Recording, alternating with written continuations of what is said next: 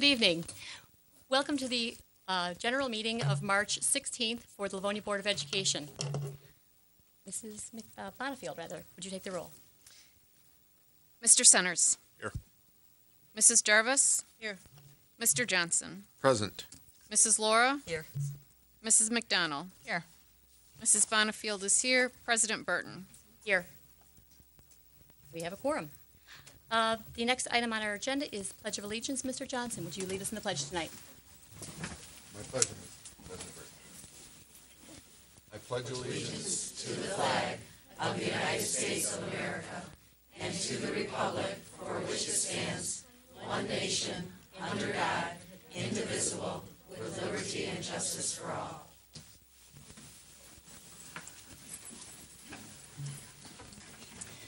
We'd like to welcome everybody to the meeting tonight. Uh, For those of you who are in attendance tonight, if you would like an agenda to follow along, they'll be found on the back counter just outside the door. If you're following along from home and you'd like an agenda to follow along, you can go to our website, uh, livoniapublicschools.org, hover over the school board tab, and drop down to the agendas, and you can uh, pull up an agenda and follow along tonight.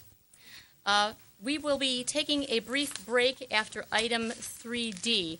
We have several folks that are going to be honored this evening, and we'll be taking a brief break so that we can congratulate those folks. Uh, After which, you are certainly welcome to stay around for the rest of the business of the meeting.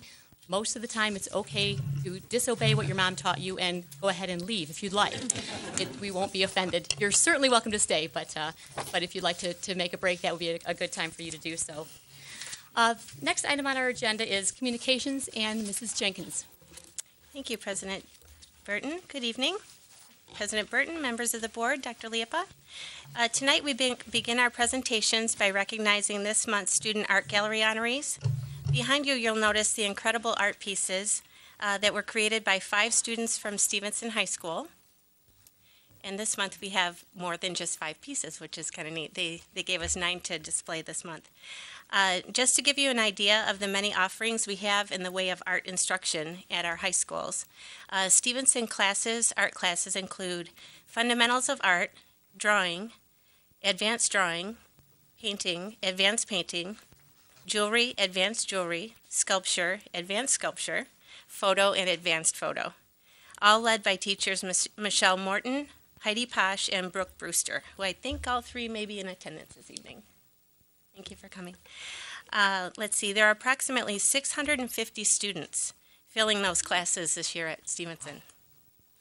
Uh, in speaking with the parents of our honorees tonight, um, I learned that some of I learned that uh, art may not just be a hobby for some of them. In fact, some are considering continuing their art path through college, which is very exciting. We're happy to recognize their talents with this certificate, which reads Livonia Public Schools Certificate of Recognition, Student Art Gallery, Featured Artist, selected to represent the Stevenson High School Art Department at the Board of Education Office, March 16th, 2015. And this is signed by uh, Superintendent Randy Liepa and myself, Stacy Jenkins. Uh, now I'd like to introduce you to our art- artists. They're all seniors, so we should also congratulate them on their impending graduation in a couple of months. Uh, first, we have Emily uh, Dangla.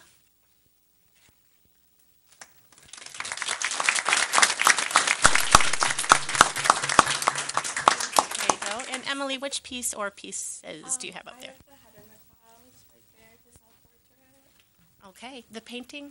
Uh, no, the photograph right Oh, down here, okay, all right. And if you could, stop with me, yeah. Okay, next we have Andrew Fairbanks.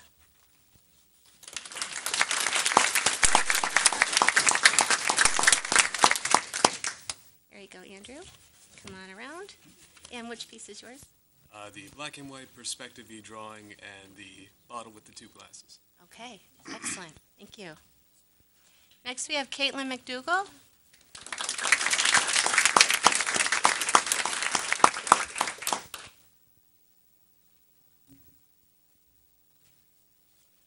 There you go. And which piece is yours? The waterfall and horse. Oh, both, okay. The larger paintings. Uh, Carrie Ronan?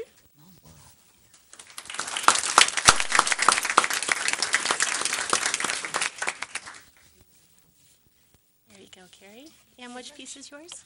Uh, I have the comic strip like in the corner, Okay. and then the sketchbook with the anatomy. Oh, okay. For those of you uh, who cannot see that, she has some skeletal drawings of human anatomy. They're very neat pencil drawings. And uh, last but not least, Ann Zaras.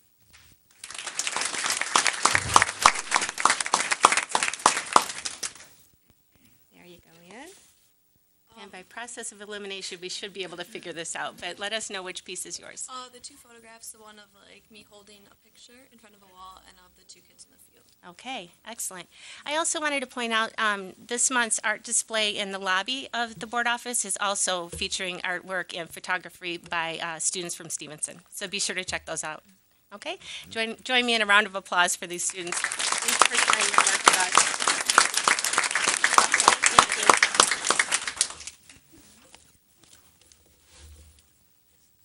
Thank you, and congratulations to the artists. Uh, For most of us in this audience, including myself, I couldn't begin to do what you folks do, and we are really impressed. You've Done a great job, and and congratulations also to the art teachers that have started from kindergarten and gone all the way up. You guys have done an amazing job.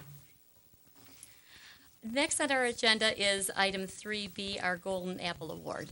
Mrs. Okay, Jenkins. thank you. Uh, Tonight, we're presenting a very special award to a very special volunteer in our school district. The Golden Apple Award is a long-standing program in LPS that allows parents and staff members the opportunity to bring attention to a volunteer who goes that extra mile in our schools. Whether it's a parent who is ever present in the schools assisting with reading groups or making copies for the classroom, or a grandparent who enjoys helping students with their work. We love the Golden Apple Award because it really speaks to the heart of who we are as a school district. It's all about being a team when it comes to supporting our students. Tonight's Golden Apple Award goes to someone who began volunteering in her children's school 45 years ago. That's right, I did say 45 years ago. Mrs. Cherie Ricardo began volunteering when her son David started school in 1970 at Johnson Elementary School, and she has never stopped. Mrs. B remains a faithful volunteer at the now Rosedale Elementary. But she's not just a volunteer, she's a role model for others to follow. She's upbeat, helpful, dedicated, and consistent. In fact, she's so consistent, this is the second time she's receiving the Golden Apple Award. the first time was 20 years ago in 1995 when she received this award in recognition for her crossing guard service. Uh, with her son, uh, when her son David contacted us about recognizing her 45th year as a volunteer, we decided an encore award was in order. So without further ado, I'd like to introduce Mrs. Sher- uh, Cherie Bacardo, otherwise known as Mrs. B.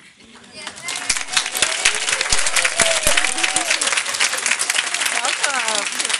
And also, uh, I'd like to invite Rosedale Elementary Principal John Wenstrom to join us as well. There's John. Okay. And John has a few words about Mrs. B, as you can imagine. It's all you. Mrs. B. Thank you. Thank you. Um, Stacy did a wonderful job of, of expressing all of the years that you've done, but um, truly, um, Mrs. B is everywhere in our building. Um, she she is a constant, um, working with students, working with teachers. She's also the reason that I still have a living plant in my office. I, I kid you not. I, I turned around one day and Mrs. B was watering my plant, and, and again, that is why I still have a living plant. And so she truly does do everything in her means I building. have to continue. Yes, now you have to, yes. Yeah. I put you on the spot, so, but I just want to say on behalf of all of our staff and our families and our students, thank you. Thank you very much. Thank you.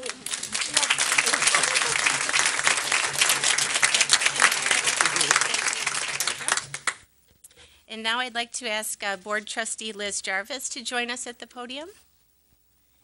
Liz is going to actually present the Golden Apple Award to Mrs. B.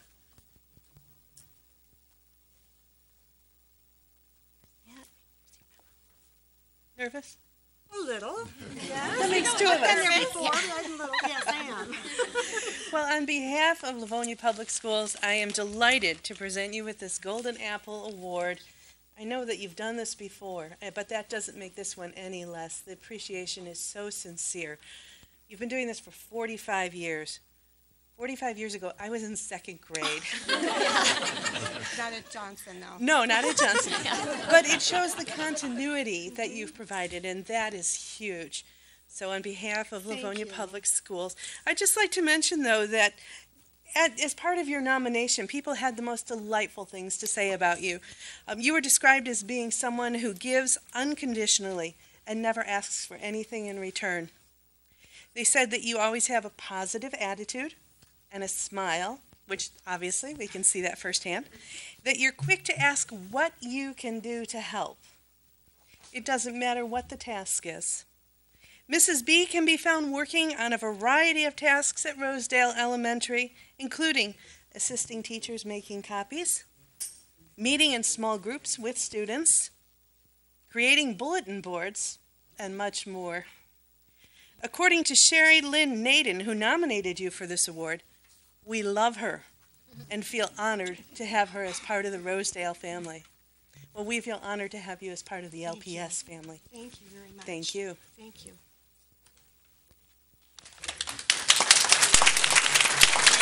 One more special. And Mrs. B, I don't know if you already have one of these, but you can wear this on your sweater. It's a tiny little cute, adorable golden apple. Okay? Thank you so much. You're welcome, and you're welcome to say a few words. I would like to. Okay. yes.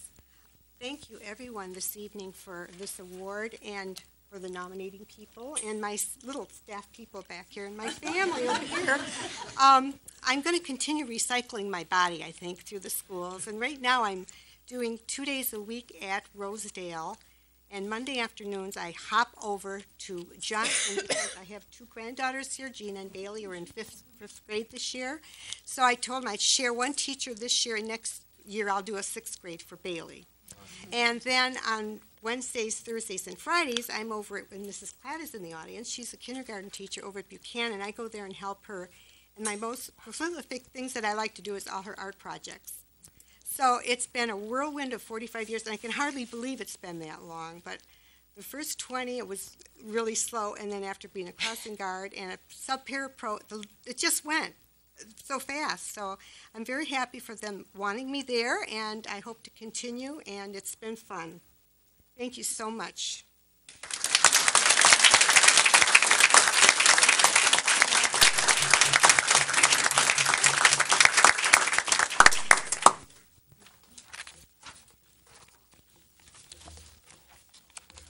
Thank you again, Cherie, from all of the Livonia Public Schools family. We are grateful for all of our volunteers, and when we have some that hit this kind of a milestone, it's, it is pretty amazing.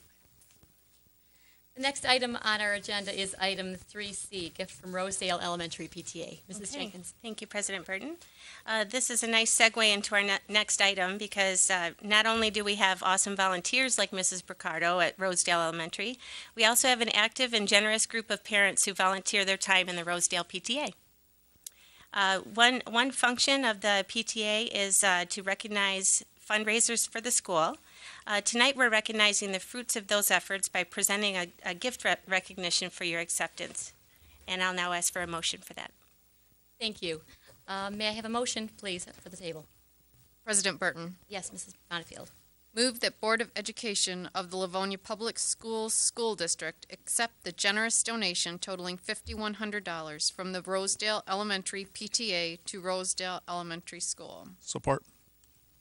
A motion by Mrs. Bonifield, supported by Mr. Centers. Okay. Um, As stated in the resolution or the motion, uh, the Rosedale PTA has donated $5,100 for the purchase of iPads and iPad ca- cases for every classroom in the school. Uh, Joining us once again is Rosedale Principal John Wenstrom, um, who will tell tell us a little bit more about this donation. John? Thank you. Um, well, in addition to this year, actually, we've had a history of generous donations from our um, PTA. The last several years, they've um, supported literacy in our building through the purchase of level literacy intervention kits. Um, that cost thousands of dollars, and those kits are used each year um, with some of our struggling readers. Um, and this year, we came to the board, uh, to the PTA board, they helped us purchase some uh, nonfiction uh, literacy science books at the beginning of the year. And at the end, there was a little left over, but not enough for our big project. Um, we had a goal this year of getting iPads into each of the classrooms. Um, and with um, Title I funds, we were able to purchase um, some for some of our struggling students, but we had a vision of um, including that for all students to have access to those iPads. And so, with the generous help of the PTA, we were able to purchase an additional iPad for uh, each classroom. Uh, those have just arrived. I've uh, gotten word from um, our technology department. They're being processed right now. We're hoping to have them in our building um, later this month. And so we are thrilled. We've already had a staff member go to a training to help our teachers be trained um, to work with the iPads. We're planning on using them for both intervention for struggling students and also uh, for enrichment uh, for students who are going uh, above and beyond. And so that only is a reality um, due to the partnership with our PTA. Excuse me. I do want to recognize our president, Rebecca Willozen. If uh, Rebecca could come up here, I want to publicly thank her and all of our PTA board and volunteers uh, for making this happen because this makes a real difference for our students and for our classrooms. And so we appreciate you. Yeah, Thank you.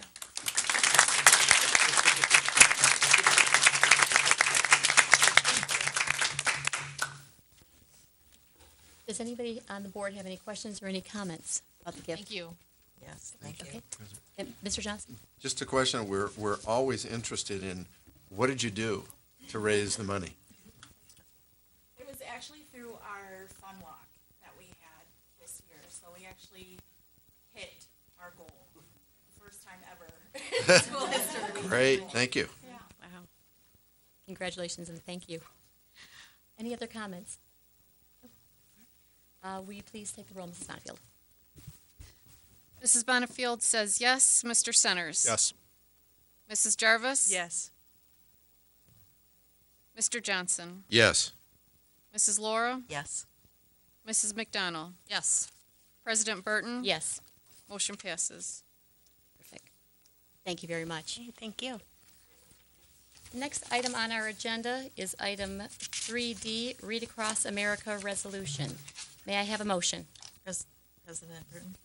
We're also getting used to that, isn't it? Still. Uh, Supposed to be President Johnson. Yeah. Um, Yes, Mrs. Laura. Thank you. Move that the Board of Education of the Livonia Public Schools School District adopt the attached resolution in recognition of Read Across America during the month of March 2015. Support. We have a motion on the table by Mrs. Laura, supported by Mrs. McDonald. Mrs. Jenkins. Okay, thank you, President Burton. Um, celebrating March as Reading Month is always a fun time in our school district, uh, particularly at our elementary schools where activities abound. It's sort of like a, a high school homecoming spirit week during the entire month of March, uh, especially in our elementaries. Uh, special activities, theme days, and even contests, all centered around reading. At Grant Elementary, where my son is a fourth grader, uh, the PTA and staff have taken reading to the next level with a sports theme that includes a Grant Hall of Fame. Um, it's literally the hallway is the Grant Hall of Fame, and it's uh, lined with handmade baseball card style uh, cards for every student in the school. Um, they're so cute. Um, let's see, they're highlighting each of the students. Um, in the front lobby, there's a mini stadium and a tailgate area uh, where they even have what appears to be AstroTurf put down and some stadium seating and uh, a tent and everything, a tailgating canopy. Uh, let's see, and all of this is set up for their avid readers at Grant. Uh, school-wide read-ins and contests build on this on the excitement of March's Reading Month. Activities such as these are happening all around our, our district, and tonight we're bringing that excitement to you by way of a special resolution to recognize the Read Across America initiative uh, of the National Education Association. Now I'd like to invite Vice President Diane Laura to read the resolution we have presented for approval tonight. Thank you. Whereas citizens of the Livonia Public Schools School District firm, stand firmly committed to promoting reading as a catalyst for our students' future academic success, their preparation for America's jobs of the future, and their ability to compete in a global economy, and whereas Read Across America, a national celebration of Dr. Seuss's 111th birthday on March 3rd, 2015, is sponsored by the Livonia Education Association in cooperation with the National Education Association and promotes reading and adult involvement in the education of our community students. Now therefore be it resolved that the trustees of the Board of Education of the Livonia Public Schools School District call upon their citizens to assure that every child is reading together with a caring adult throughout the month of March. Celebrated today, March 16th, 2015, with the Livonia Public Schools Board of Education, and therefore be it further resolved that this board recommits our community to engage in programs and activities to make America's children the best readers in the world. Thank you. Support. Terrific. Are there any comments or questions on our Read Across America resolution? Mrs. Bonifield, will you take the roll? Mrs. Laura? Yes. Mrs. McDonald? Yes. Mr. Centers? Yes. Mrs. Jarvis? Yes. Mr. Johnson? Yes. Mrs. Bonifield says yes. President Burton? Yes, Motion carries. thank you. We will now take a, a five to 10-minute break or so, uh, so we can congratulate our honorees of this evening.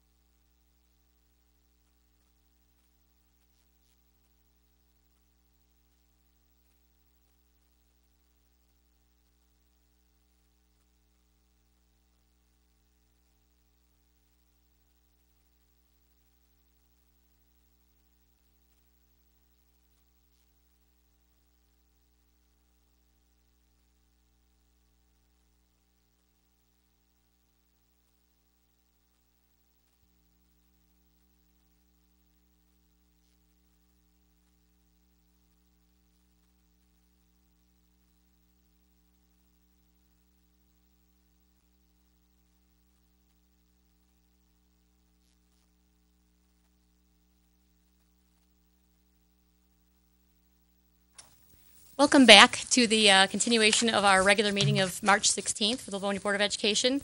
Uh, The next item on our agenda is item 3E, written communications. Does any board member have written communications they would like to share with the board? Seeing none. Uh, The next item on our agenda is item 3F, audience communications. Uh, This is a time that the board sets aside to listen to comments from the public.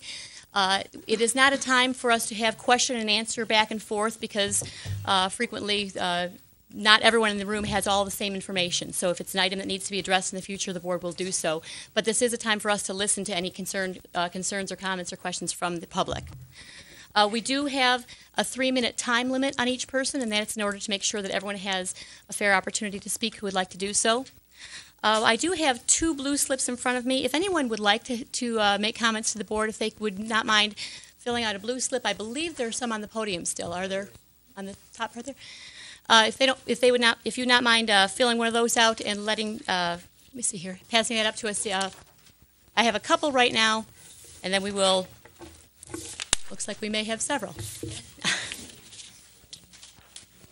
Mrs. Jenkins, do you mind um, being in the front row just to gather blue slips as folks uh, have those ready? Thank you. The first blue slip that I have is from John Grzebik. Thank you, President Burton, members of the board, Dr. Liepa, and community members. I just stand here as the legislative and advocacy chair for the Livonia PTA Council, and we're holding an event. It's and many of you have heard it. It's been in the Observer. I was notified it was also in the Detroit Free Press, and we've put it on Facebook and a variety of other ways of communicating it. It's March 26th. It's a legislative evening with your legislators at the Livonia Patriot Inn.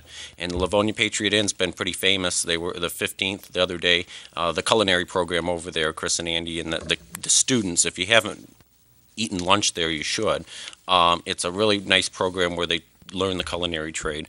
Um, our Livonia High School students, of course.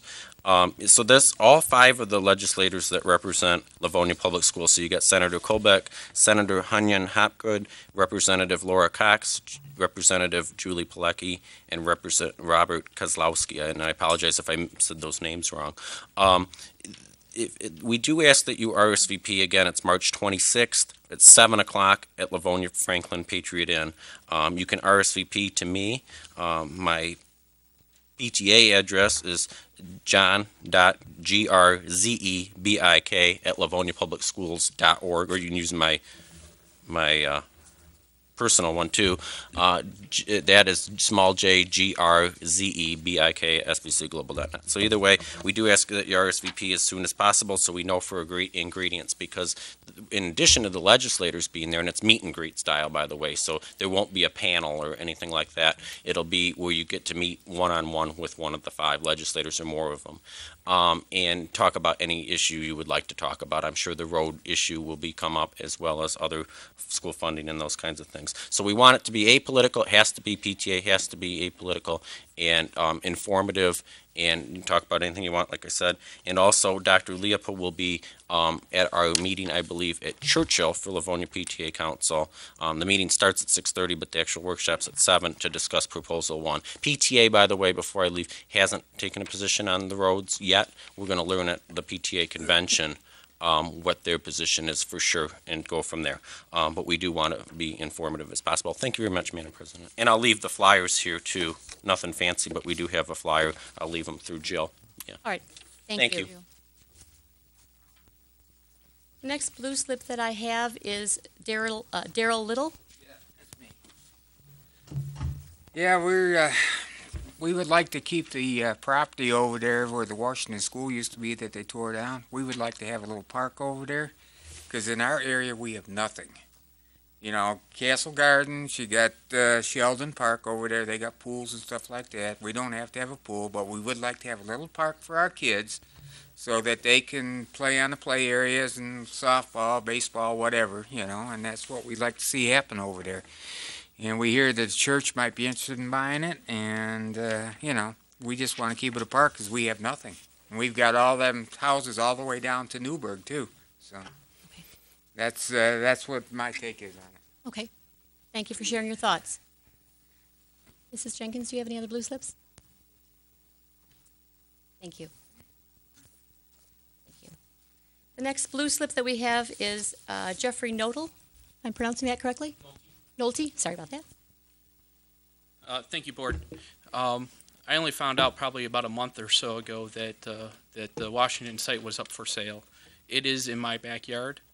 Um, I was kind of disappointed with um, a couple things, you know, how long it took for it to be torn down. Uh, I-96 got started after it and got done, you know, the site didn't even get fully done until after I-96 was done too.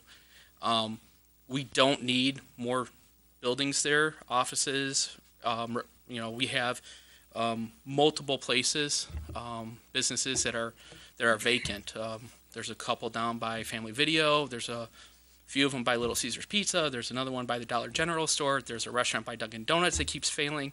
We don't need more stores. We that that is the last thing we need. There's my kids are back there all the time. My daughter went to Washington School. There's people that um, cross country ski back there. There's people that take their dogs back there all the time. And and as um, Daryl said, we don't have a park in the neighborhood. We have this one little itty bitty play structure, and that is it. If you want our kids to go do other things and find things to do, that's fine and that's great. But I, I'm, I, and maybe it's you know something for the park and recreations to pick up. But I'm just letting you know we don't have anything, and we're always told by the school district that they always want our kids outside. You guys have a choice. You know, I know somebody mentioned that 300 people made a vote and decision. I never heard about that. Didn't know anything about it. Didn't see anything. Like I said, I only just found out, and it is in my backyard. Um, the other thing I want to make a comment about is that we were also told that the Washington School we would have bricks, that the bricks would be laid out for any of the residents to grab that wanted them. Like I said, it's in my backyard. I never once saw any bricks. My daughter, who went to school there, never got a brick. So I don't know what happened with that, but that was kind of disappointing too. So that's my piece. Thank you. Thank you. The next blue slip that I have is from Mike Lightbody. Hello, good evening. Good evening. Uh, I appreciate the opportunity to speak. My name is Michael Lightbody, and I'm here to comment on the potential sale of vacant LPS properties. My wife, daughter, and I live in Dover Arbor Estates, near the land on which Washington Elementary previously sat. It's of great concern to us what happens to this site. Both my wife and I have lived in Livonia our entire lives and are graduates of the Livonia Public School systems. In a few years, my daughter is going to begin her education within the LPS. We're concerned with both school programs being funded and the landscape of our surrounding neighborhood. Some of my fellow Dover Arbor residents voiced their concerns at this meeting and a February 9th meeting about what happens to this site. While I personally may not share the same concern for it remaining a park, I'm very concerned with what this land will be developed into. Property values can be drastically affected in the long term by whatever is built on that spot. Some things I would vehemently oppose are any sort of apartments, cheap housing, religious facilities, low-end retail shops, etc. Acceptable developments, in my mind, would be single-family homes, mid to higher-end retail shops, or anything that can be agreed upon by the community as a value-added project. In listening to previous meetings, I heard a couple things that trouble me. One, it was mentioned the idea of selling the property was overwhelmingly popular at a community forum on the budget struggles of LPS. The number of attendees referenced was 300.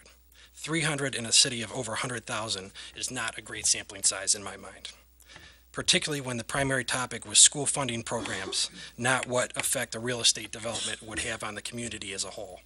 The people at that meeting were there to discuss school funding and what sort of revenue enhancements can keep school programs. There are many other Livonia residents who don't have children or whose children have already graduated. That sort of meeting would not have caught their eye. Now, a meeting specifically about developing vacant property in their neighborhood, that would garner a whole different audience and level of interest. The second thing that troubled me was the commentary that we're just investigating options. And I mean no offense, but no one since uh, spends substantial sums of money demoing that spot and then also hiring a real estate developer.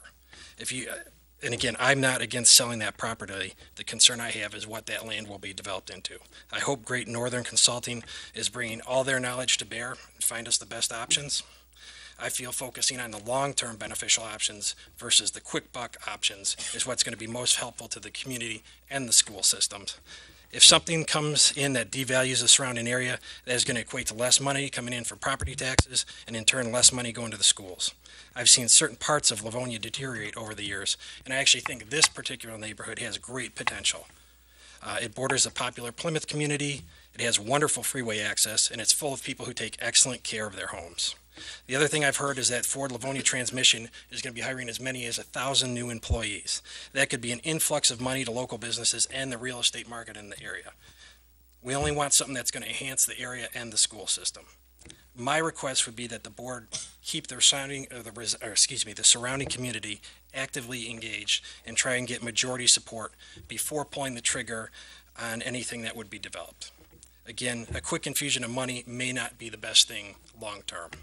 Um, the last thing I'll say is a side note, since there are neighbors very concerned about where children can play, um, is making something of the open land behind the subdivisions and perhaps creating something there.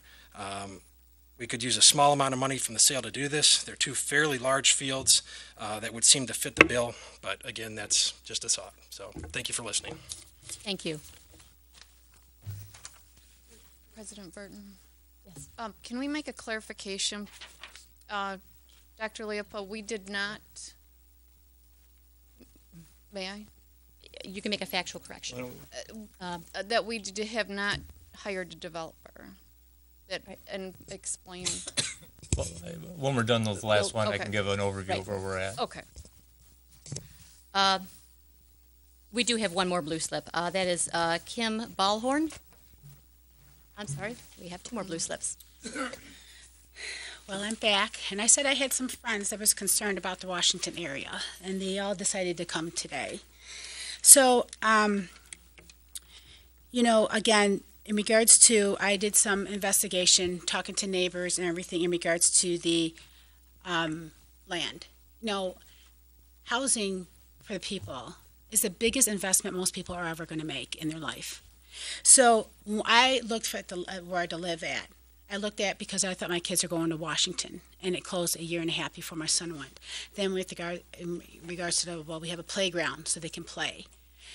Now, if that goes, we're going to get in a cyclical cycle again, like we were talking about. I talked to a few people, one for the the LJAL.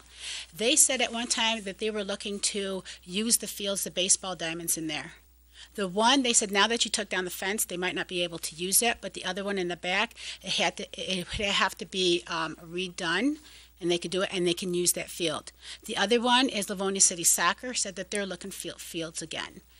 We can rent this out again. What my thing is, and Dr. Liepa, I know your job is a very hard job, and I'm not here to, you know, to argue with you. We want to work together. You have in the schools the leader in me, the synergize, and everything else. I like to use St- Stephen Covey's. It's called the third alternative. It means it's not your way, it's not my way. It's working together to find a third alternative. And the third alternative for us is one of the realtors that does a lot of selling in that area. He told us if you don't have a playground, it's not attracting families. Families don't want to go there.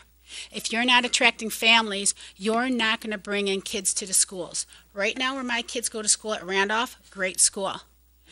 When my, my son went to school there, there was 325 kids. Now I think there was like 260. Now I heard that there's a rumor that there might condense again. Now, exactly where do we start? We need something to attract the families. And in regards to school of choice, I wouldn't be opposed to school of choice if you invested in my community to attract the family so my kids can have someone to play with. And, and, and then again, this is a reinvestment into the schools because more kids go to school. When you have more kids go to school, you get more from Michigan for per person. And it goes back in. You're getting rental from all the sports teams. So it, it's all going back in. A lot of these people here bought houses because of Washington School is just a walk away. It took that, that's gone down. Now we're asking you for the playground to stay there for us, our kids, because as you know, if you don't give options for the kids, they'll find other options and they'll do something. You know, we had um, talked to the neighbors. I mean, one of the things is that pavilion. So we could put a pavilion there and get a hundred dollars. I know there's people. We have block parties. We can have a community party and raise funds for you to help out with things. This is an old-fashioned community where we come together and we talk. So that's why I want to talk to you again in regards to. Um, you know, um, I'm optimistic that we can work together, and that we can find something that we can keep it, and we have many more neighbors that wanted to come up here and also talk about that. Thank so you. hopefully you take care. Our thoughts. Okay, thank you. Uh, At the time we began our audience communications board members, we did have four to five slips. I do have three additional slips, which would put us beyond our 15-minute time limit. Do I have anyone who would object to hearing from the last three board members before our business portion of our meeting? Anyone object if we hear the last three? Okay. In clarification to our audience, normally if we have four to five, we have enough time to handle it before our business, and any remainders come after our business portion. If there is no objection from the board, then we will go ahead and hear the last three right now, so that you don't have to sit through more of our business before you go on with your evening. Uh, I would respectfully request that everyone do, and everyone has been so far, keeping a good job to keeping to the three minutes. I do appreciate that. Uh, Our next person to speak is Cynthia Dempsey.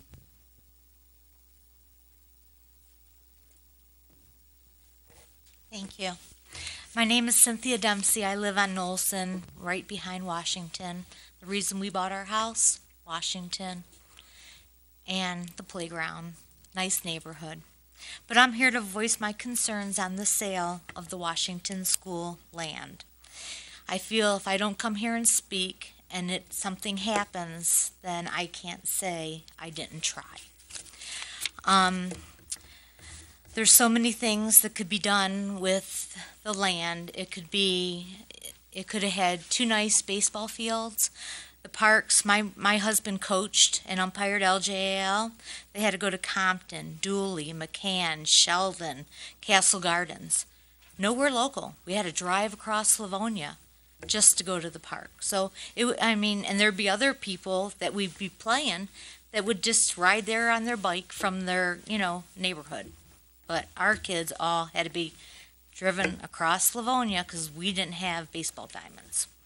Um, we wanted to keep it as green space, okay? Um, I think a great idea would be a, a walking trail. Um, like um, Kim had said, LJAL, uh, the Orioles, and um, Livonia Soccer, they're looking to you, you know, utilize land there as well. And um, I spoke with Dave Owens, our local realtor, and uh, I said, Dave, what, what, what draws people to neighborhoods? Well, schools, parks. Well, we don't have a school, and now we're not going to have a park. Um, and I also was very disappointed with the bricks. My children attended K through five there.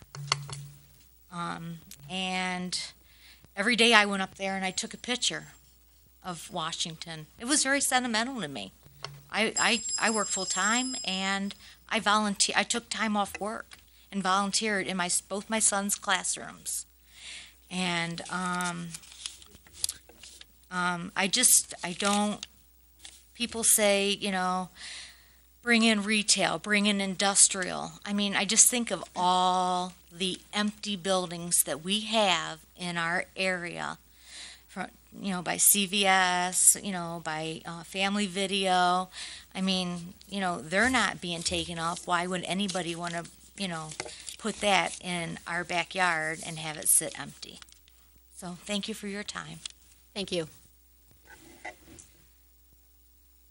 Our next uh, blue slip that I have is from Keith Noble.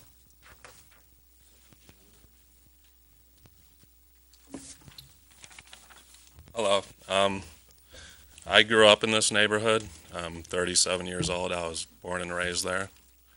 Um, my wife and I moved to this neighborhood with two kids with the intent to uh, go to Washington. Um, two years later, the school was closed, which, you know, we dealt with, and, you know, they were going to go to Randolph, and, you know, which was fine, and we heard it was going to be green space, and, no, we were okay with that because they'd have a park somewhere to play, something to do. But to develop it into apartments or a church or something of that nature, it's uh, it's not something like they touched on where the kids can do something rather than sit home, play video games, all the things we tell them not to do. Um, I think it's it's hard for everybody in the neighborhood to think of the kids not having anything to do and to be without what we had and what I had in this neighborhood. Because I've been there my whole life. So to see this, and it, it you know, we're all really passionate about it, it's, it's, it's wrong. Because we go to other neighborhoods, our kids play soccer, baseball, we have to go to Devonair, LJL. You know, we have to put our kid in Farmington soccer. And uh, because the fields are so poor, there's nowhere to go.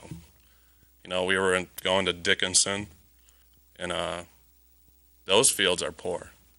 It's like we're not keeping up our own neighborhoods and our own backyards, and we rely on you guys to provide that.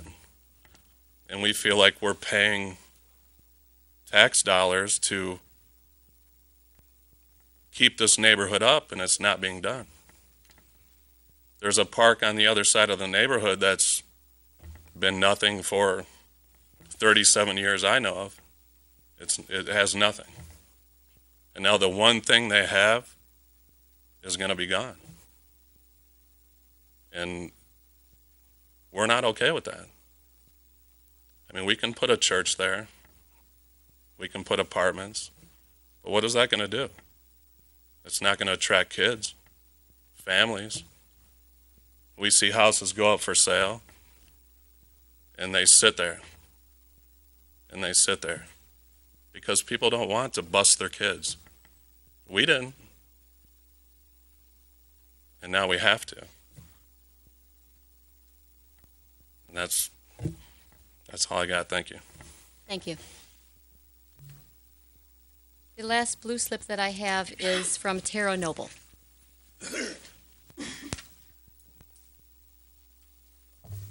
Well, they've already said everything, so I just want to reiterate that's my husband. We moved to this neighborhood specifically for my kids to go to school there. The year and a half into it, they closed it, so I got one and a half years of my kids going to a great school that my husband and his sisters and brothers went to.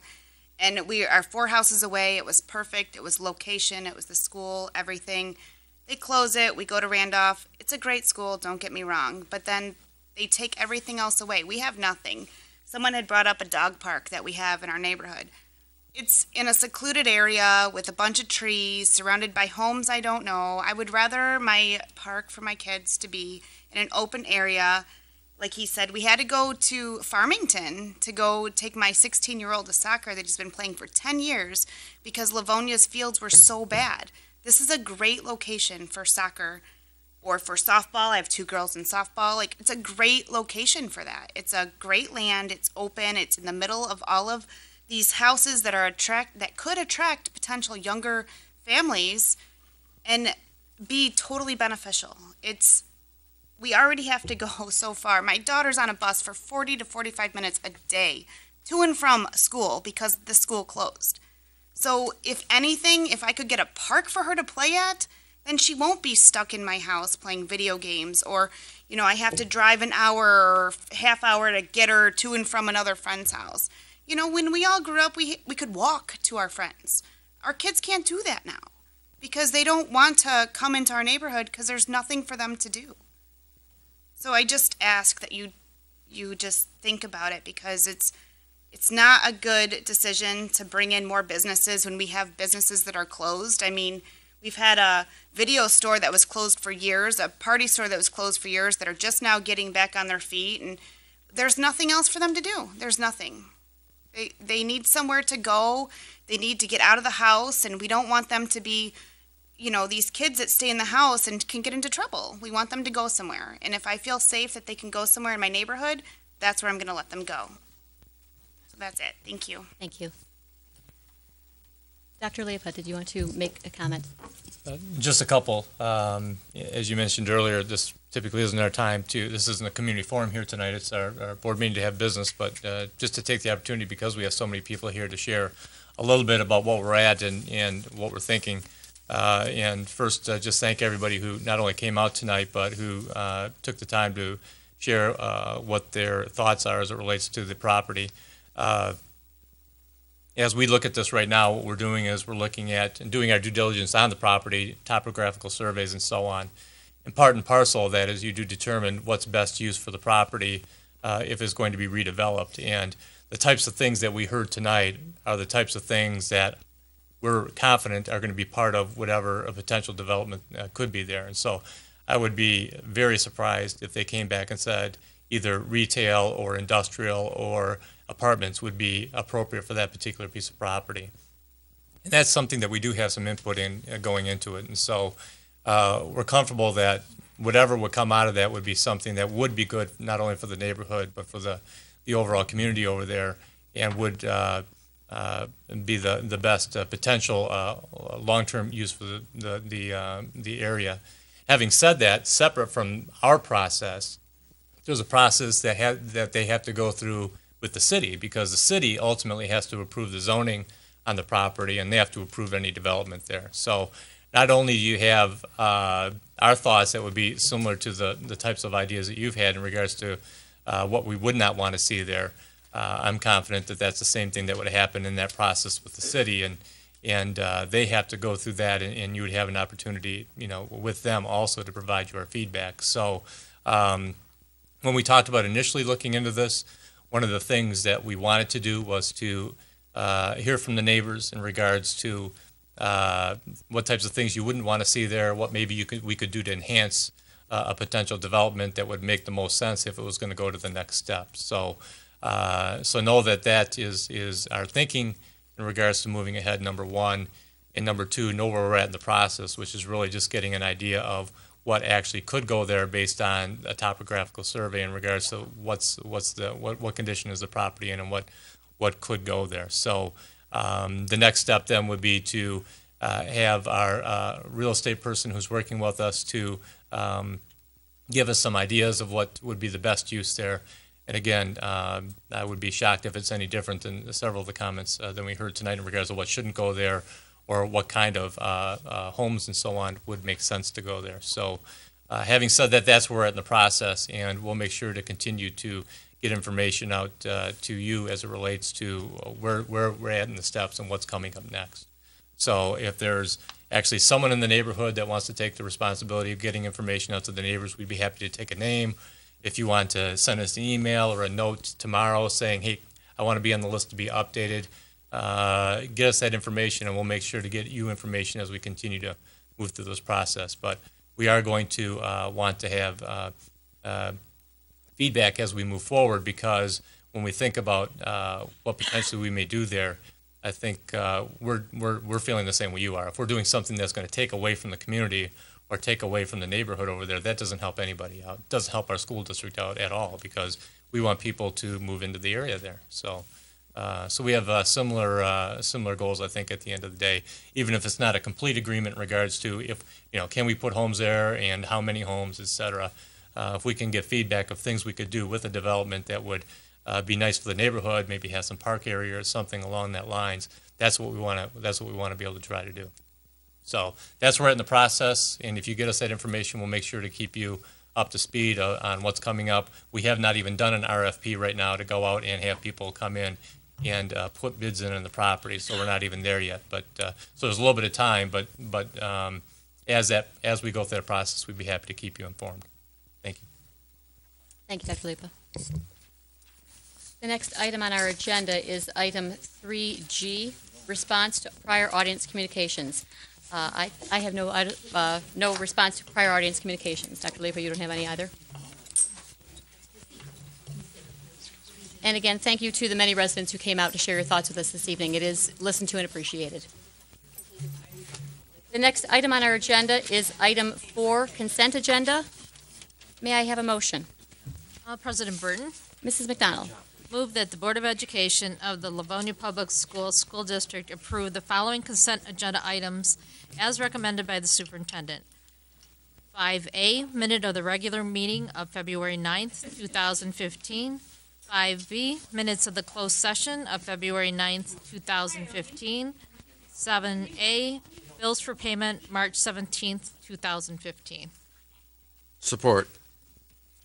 We have an, uh, a motion on the table by Mrs. McDonald, supported by Mark Johnson. Do we have any questions or comments or concerns on the item? No. Mrs. Bonifield, will you go ahead and take the roll, please? Mrs. McDonald? Yes. Mr. Johnson? Yes. Mr. Centers? Yes. Mrs. Jarvis? Yes. Mrs. Laura? Yes. Mrs. Bonifield says yes. President Burton? Yes. Motion carries. Thank you.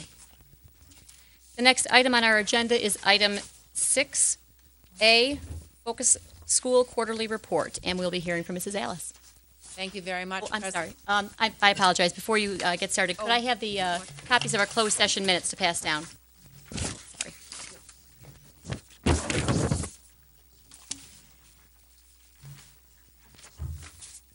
Thank you. I apologize for the interruption. Mrs. Alice, you're on. Okay, thank you very much, President Burton, and good evening, everyone. Tonight's Focus School presentation is one of four um, required presentations to our Board of Education, in which we share with the board our efforts to close student achievement gaps in our school district. Before I begin tonight's presentation, I thought I would share very briefly some background information. Our current school accountability system, which meets requirements as outlined in our state's approved waiver of NCLB requirements, includes multiple components. Three of those components include our school accountability scorecards, which we receive annually. It includes the top to bottom list where schools are ranked across the state of Michigan. It also includes the um, school status labeling, in which some schools are identified as a reward school, a focus school, or a priority school. In LPS, we have one reward school, five focus schools, and no priority schools for this school year. Having focus schools um, includes a variety of requ- many requirements which we have to meet. One of those requirements is to provide your Board of Education at a public meeting four quarterly reports on the progress that focus schools are making to reduce their student achievement gaps. And our five focus schools are Cass Elementary School, Garfield Elementary School, Frost Middle School, Churchill High School, and Franklin High School. Tonight's presentation is the second of the four quarterly reports. In January, I presented the first quarterly report, and at that time, I told the Board of Education that we have a requirement this year to use the state's template for our focus school presentations and our quarterly reports. Um, this requirement is due to the fact that there was such a great deal of disparity between the content of the reports and the depth of analysis that was included in the focus reports last year. So our focus school template for the second quarter is 13 pages long. And rather than read this report to you this evening, I will make copies of them and give them to Dr. Liepa to include in your um, board packet this week. And after tonight's presentation, this report will be uploaded to the state's website. However, I am required tonight to share with you some required content which covers the actions that our schools have taken during the last three months of December through February to reduce their achievement gaps. I have to cover um, specific areas. I must present information about diagnostic um, data dialogues as well as the identification of teaching and learning priorities that are a result of those data dialogues. So I'm going to share some information beginning at the district level and then I'll move to the school level. So beginning at the district level, Five years ago, our district adopted Class A as our assessment data warehousing system. Um, since that time, we are now transitioning to a new data warehousing system called MISTAR DnA, which will replace Class A at the end of this school year. We are using the train the trainer models where representatives from each school are being trained by our district's assessment facilitator, Mrs. Kathy Baldwin, a representative from Wayne RESA, and our own district facilitators. Our school representatives are being trained and then are returning to their schools to train their colleagues. We're hearing from staff involved that the new assessment data warehouse system is much more user friendly and much more intuitive to use. It's also allowing our staff to more closely and comprehensively track student performance and stay informed on student learning. The initial feedback from both teachers and administrators has been extremely positive. Also at the district level, Franklin High School leadership team presented their school improvement plans to our Board of Education in December. The presentation included student demographic information, student learning goals, assessment results, and interventions targeted at improving student achievement.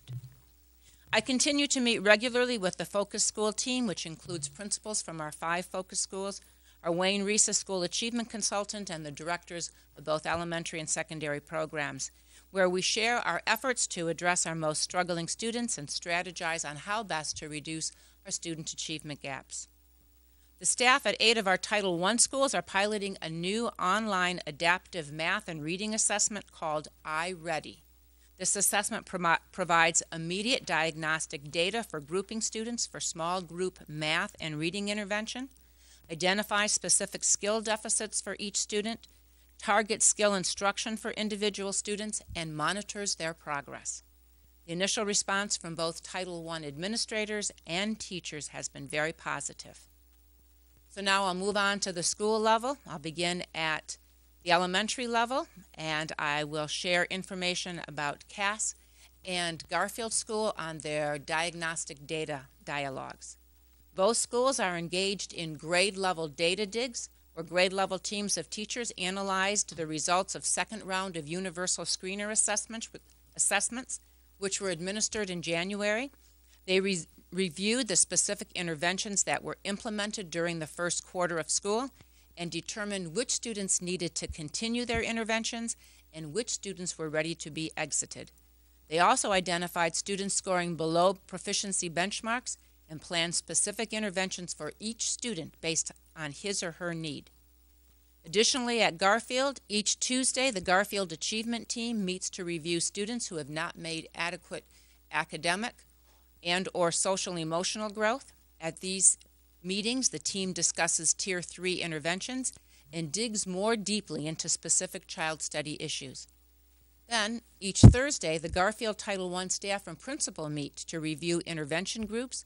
They discuss progress monitoring of students and plan next steps at servicing their at risk learners. Moving on to the secondary level and staying on the topic of diagnostic data dialogues. At Frost, the staff dug deeply into last year's MEAP data of their bottom 30% of students, and they identified specific subgroup populations that were achieving at low lev- levels and in need of extra support and remediation.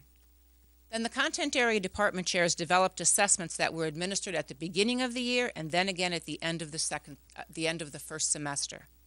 The departments are reviewing the results of these two assessments to determine growth among subgroups. At Churchill, the administrative staff, content area department chairs, school improvement team, counseling department, and student services department met in cohort groups to review student failure data from the end of the first semester, especially focusing on those students who failed more than one class. They examined the data for students who were removed from upper level classes and placed in a lower, lower level class and reviewed data for students in the attendance support group. At Franklin High School, the administrative staff, special education department chairs, school improvement chairs, and counselors conducted an analysis of the Write to Learn program used with 9th and 10th grade B level ELA classes at the end of the first semester to determine if students could be moved out of the B level classes and into a college level ELA class. Although students improved their writing from first to final draft, students did not improve at a level high enough that would allow them to be moved to the college level ELA class at the end of the first semester. This concludes the data dialogues. Now I'm going to move into the teaching learning priorities that each school has identified and implemented as a result of these data dialogues. Again, I'll begin at the uh, elementary level and move to the secondary level. At CAS, the teachers are placing an increased emphasis on measurement, especially looking at area and perimeter. Using technology resources, the staff um, are teaching students how to read and interpret charts, tables, and graphs. Staffs are participating in additional PD session on the technology tool Learning A to Z, focusing on integrating this resource into content area classes and into the MAISA units for reading and writing. The staff is continuing to implement close and critical reading strategies ut- utilizing collaborative lesson plans developed during their staff meetings in January, and they are continuing to mainstream special education students into the general education classrooms as applicable. At Garfield, teachers continue to emphasize letter and sound ID at the kindergarten level. They are building background knowledge and vocabulary development at all grade levels, K through 4, through the use of guided reading groups, MAISA reading units, content integration, and Tier 2 interventions. They are focusing on retelling with an emphasis on character analysis at both third and fourth grades, and they are striving to improve automaticity with basic facts and number sense. Again, this is occurring at all grades, K through 4. At Frost, in the area of math, an additional math class called Math Connections is being provided to select seventh grade students, and eighth grade students continue to take advantage of phantom time math support with students either being assigned to assistants or self-selecting to attend. The staff have embedded social comfort activities within each classroom to stimulate improved relationships, increase engagement, and further improve building culture. Positive Behavior Intervention and Support Program, otherwise known as PBIS, continues to be a priority at Frost. Formative assessment is a year-long focus for the entire staff. The principal and some of the classroom teachers have been attending professional develop, development learning opportunities provided by our curriculum department, and then they are returning to their school to share their learning with their entire staff. At Churchill High School, the staff is continuing their participation in the African American Male Youth Promise Initiative, which is sponsored by the Michigan Department of Education to close the achievement gap among African American males. The school reports that the impact of this initiative is, in resulting, is resulting in a reduction in the achievement gap with this subgroup. This year, the Churchill High School began a vocabulary initiative focusing on content specific words identified by each department. Academic vocabulary posters have been developed and are beginning to hang in all classrooms. The staff discovered that the word not in ACT questions is difficult for students to answer correct, correctly, so they are taking steps to include these types of questions in classroom tests. They continue to have monthly Tech Thursday meetings to offer professional development to staff. Teachers are learning new ways to use technology to support student learning. At Franklin High School, the Write to Learn program continues to be used in ELA classes to assist students in the development of their writing skills. The school reports that the expansion of the Write to Learn program with students in non-B in non-B level classes is a challenge because they're running into um, limited amount of time to train the teachers on how to use this writing program. In both ELA and social studies classes, teachers are continuing to use the magazine called The Week with students to practice nonfiction reading strategies in content area classes and to have students practice writing summaries and argument essays. And finally, in mathematics classes, the Franklin High School teachers are emphasizing skills to help students increase their ability to read, comprehend, and complete multi-step problems with precision. As you can see from what I have just shared, the staff at all five of our schools have engaged in multiple diagnostic data dialogues about student achievement data and as a result, they are continuing to um, implement programs or expand existing programs. They are providing double dip opportunities, and they've initiated some new initiatives with the focus on improving the learning of their students and mitigating their identified student achievement gaps. As I mentioned at the start of the program, this is our second Focus School quarterly report. There are two more reports that will be provided later this school year and I thank you for this opportunity this evening. Thank you, Mrs. Salas. Are there any questions or comments from board members? Mrs. Bird, Mrs. McDonald. Uh, Mrs. Alice, I have a question. Um, you indicated that the focus, um, the the, these reports would be uploaded to the state website. Is there any information that the community can access um, on these reports? If the board chooses to have the report available on the district website, I would be happy to um, make it available. Or if the, co- any community member would like to contact me, or they could contact the individual school, I'm sure they would be happy to provide the report. Okay, all right, great, thank you. Any other comments or questions on this item? Okay, thank you again, Mrs. Ellis. The next item on our agenda is item six B, approval of district improvement team goals and strategic objectives. May I have a motion, please? President Burton, Mrs. Jarvis. move that the Board of Education of the Livonia Public Schools School District accept the administration's recommendation to approve the district school improvement team's district-wide school climate goal and two strategic objectives for implementation in the 2015-16 school year. Support. We have a motion on the table by Mrs. Jarvis and support by Mrs. Laura. And we will hear from Mrs. O'Quist on this item. Thank you so much, Mrs. Burton.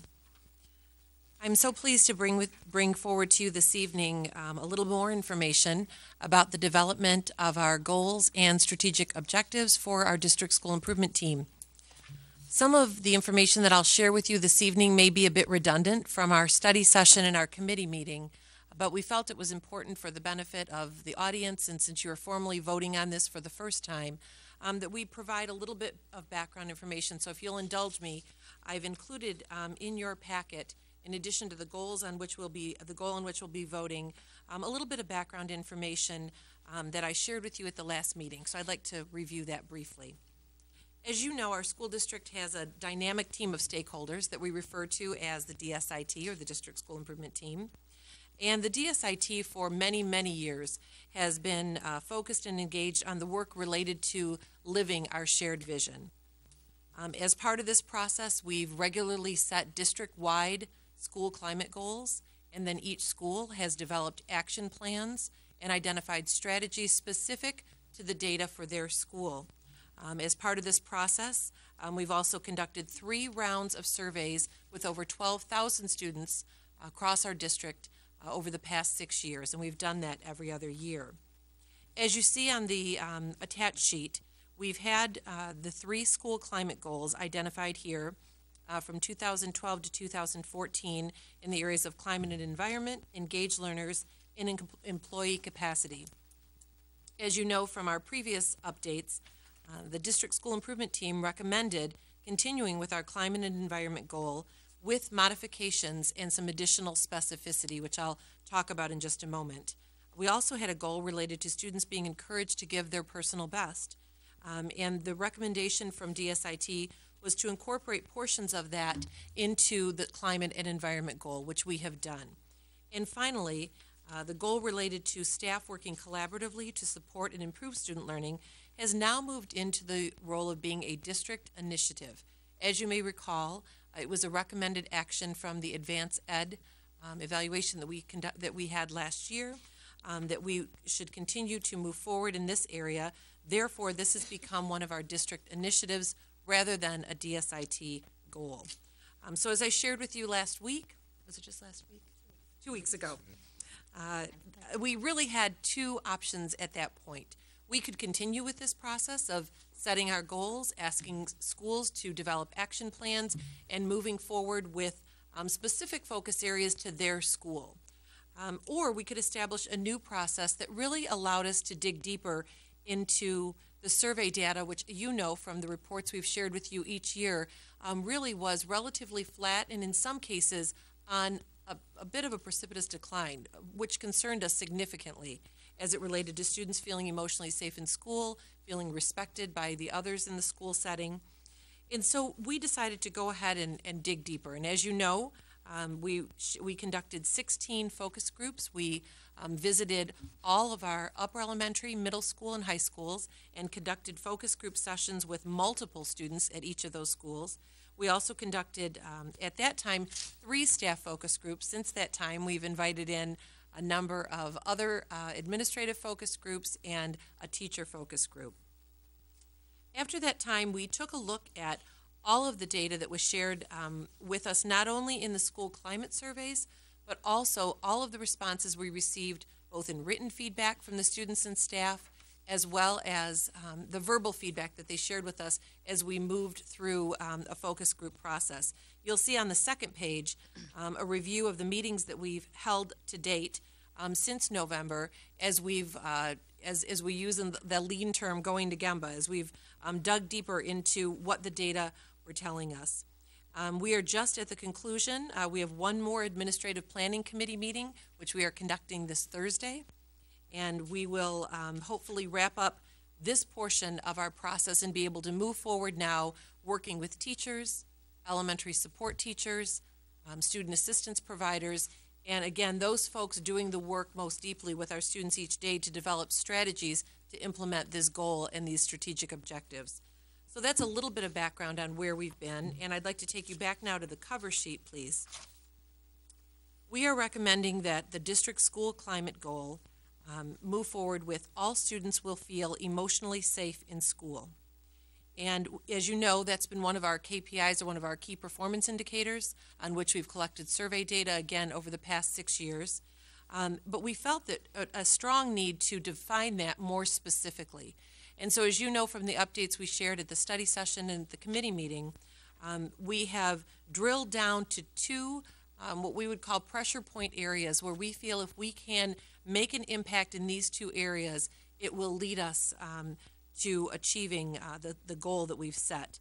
And so the first strategic objective that I'd like to share with you um, reads By the end of the 2016 17 school year, Livonia Public Schools will have a greater number of students who use effective skills and strategies that empower them to respond to and successfully interact with peers and adults. And just a little bit of quick background on that for, um, for our audience. One of the things that we realized um, over and over throughout this process is that there are many stressors um, and many uh, challenging times for students that they come across during their uh, years in school. Um, and especially as we talk to our young adolescents and our, um, our, our older adolescents. And what we realized was many of those pressures change. We, we have the advent of social media. We don't see that going away anytime in the near future. But as we also know, um, something different comes out each month. And so rather than trying to attack um, those, those, each of those individual pressure, pressures or stressors for kids, um, we felt it was much more um, impactful to be able to help um, a, help empower these students by um, teaching effective skills and strategies to respond not only to um, negative interactions with peers, but also potentially with adults as well. And we know that whether those students stay with us for a year, five years, 13 years, or they move on to another district, um, we feel if we've been able to um, teach those skills, model those skills, and reinforce them, that they will take those with them wherever they go.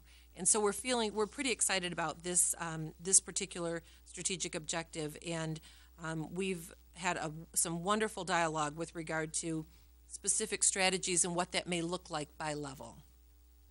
Uh, the second one is uh, by the end of the 2016-17 school year, all Livonia Public Schools school and classroom communities will exhibit and promote mutually respectful interactions. Interactions encompass adult to students, adult to adults, and student to students. And as I shared with you at our committee meeting, we know that this takes place in many of our schools, in many of our classroom communities. What we also heard loud and clear from the teachers with whom we spoke, the, the student assistance providers, administrators, is that uh, most isn't good enough, and that we really need this to be all for every student, every classroom, every school, every day. And so these are the two strategic objectives that we'll continue to um, hone and develop implementation strategies, um, as well as uh, develop uh, and establish baseline data, and then track our progress over the next two years um, with our final collection of data to take place at the end of the 2016-17 school year. So that's where we are at this point, and we would like to recommend your approval of the district school climate goal. Thank you, Mrs. Oquist. You're welcome. Are there any comments, or questions from board members? Mrs. Bonifield. I just would like to um, commend the DSIT on their continued efforts um, in this direction. I think uh, as much as we would like to in our personal lives and in our schools to make um, our children's interactions carefree and remove everything from their lives that may cause them harm or stress is um, is is just really not doable and probably not doing our kids any favors because eventually they are going to have to deal with those.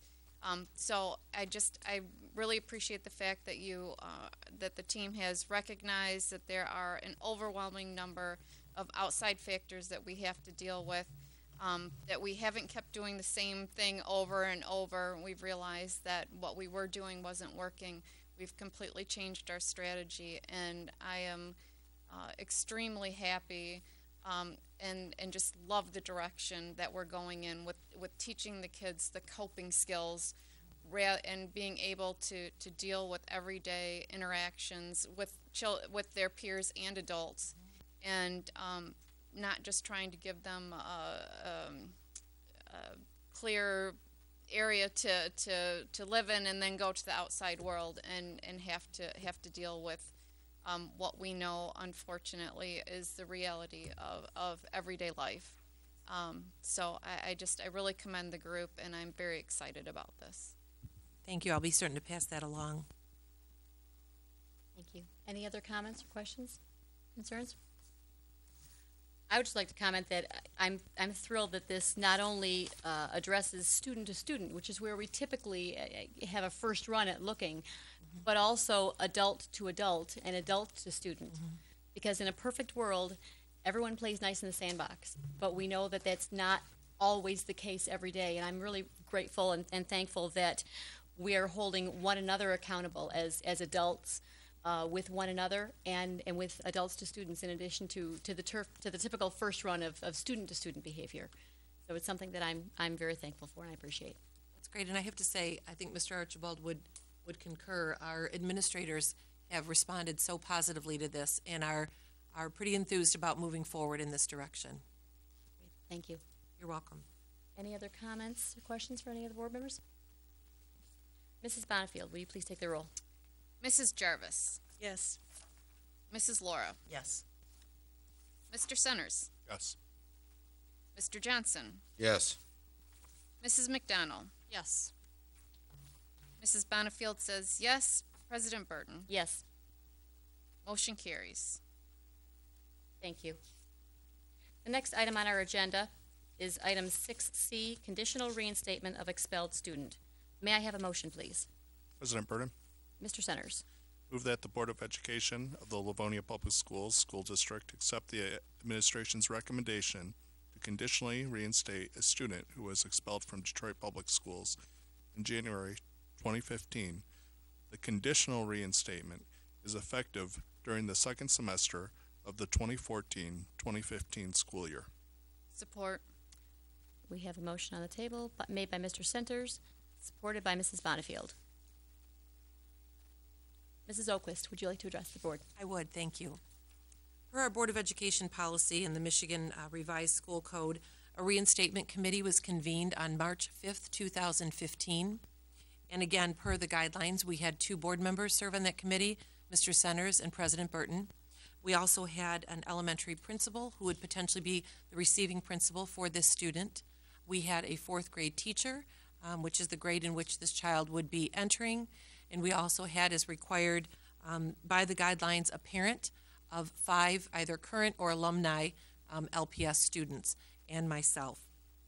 The committee conducted a very comprehensive and thorough review um, of the circumstances that led to the expulsion of this student.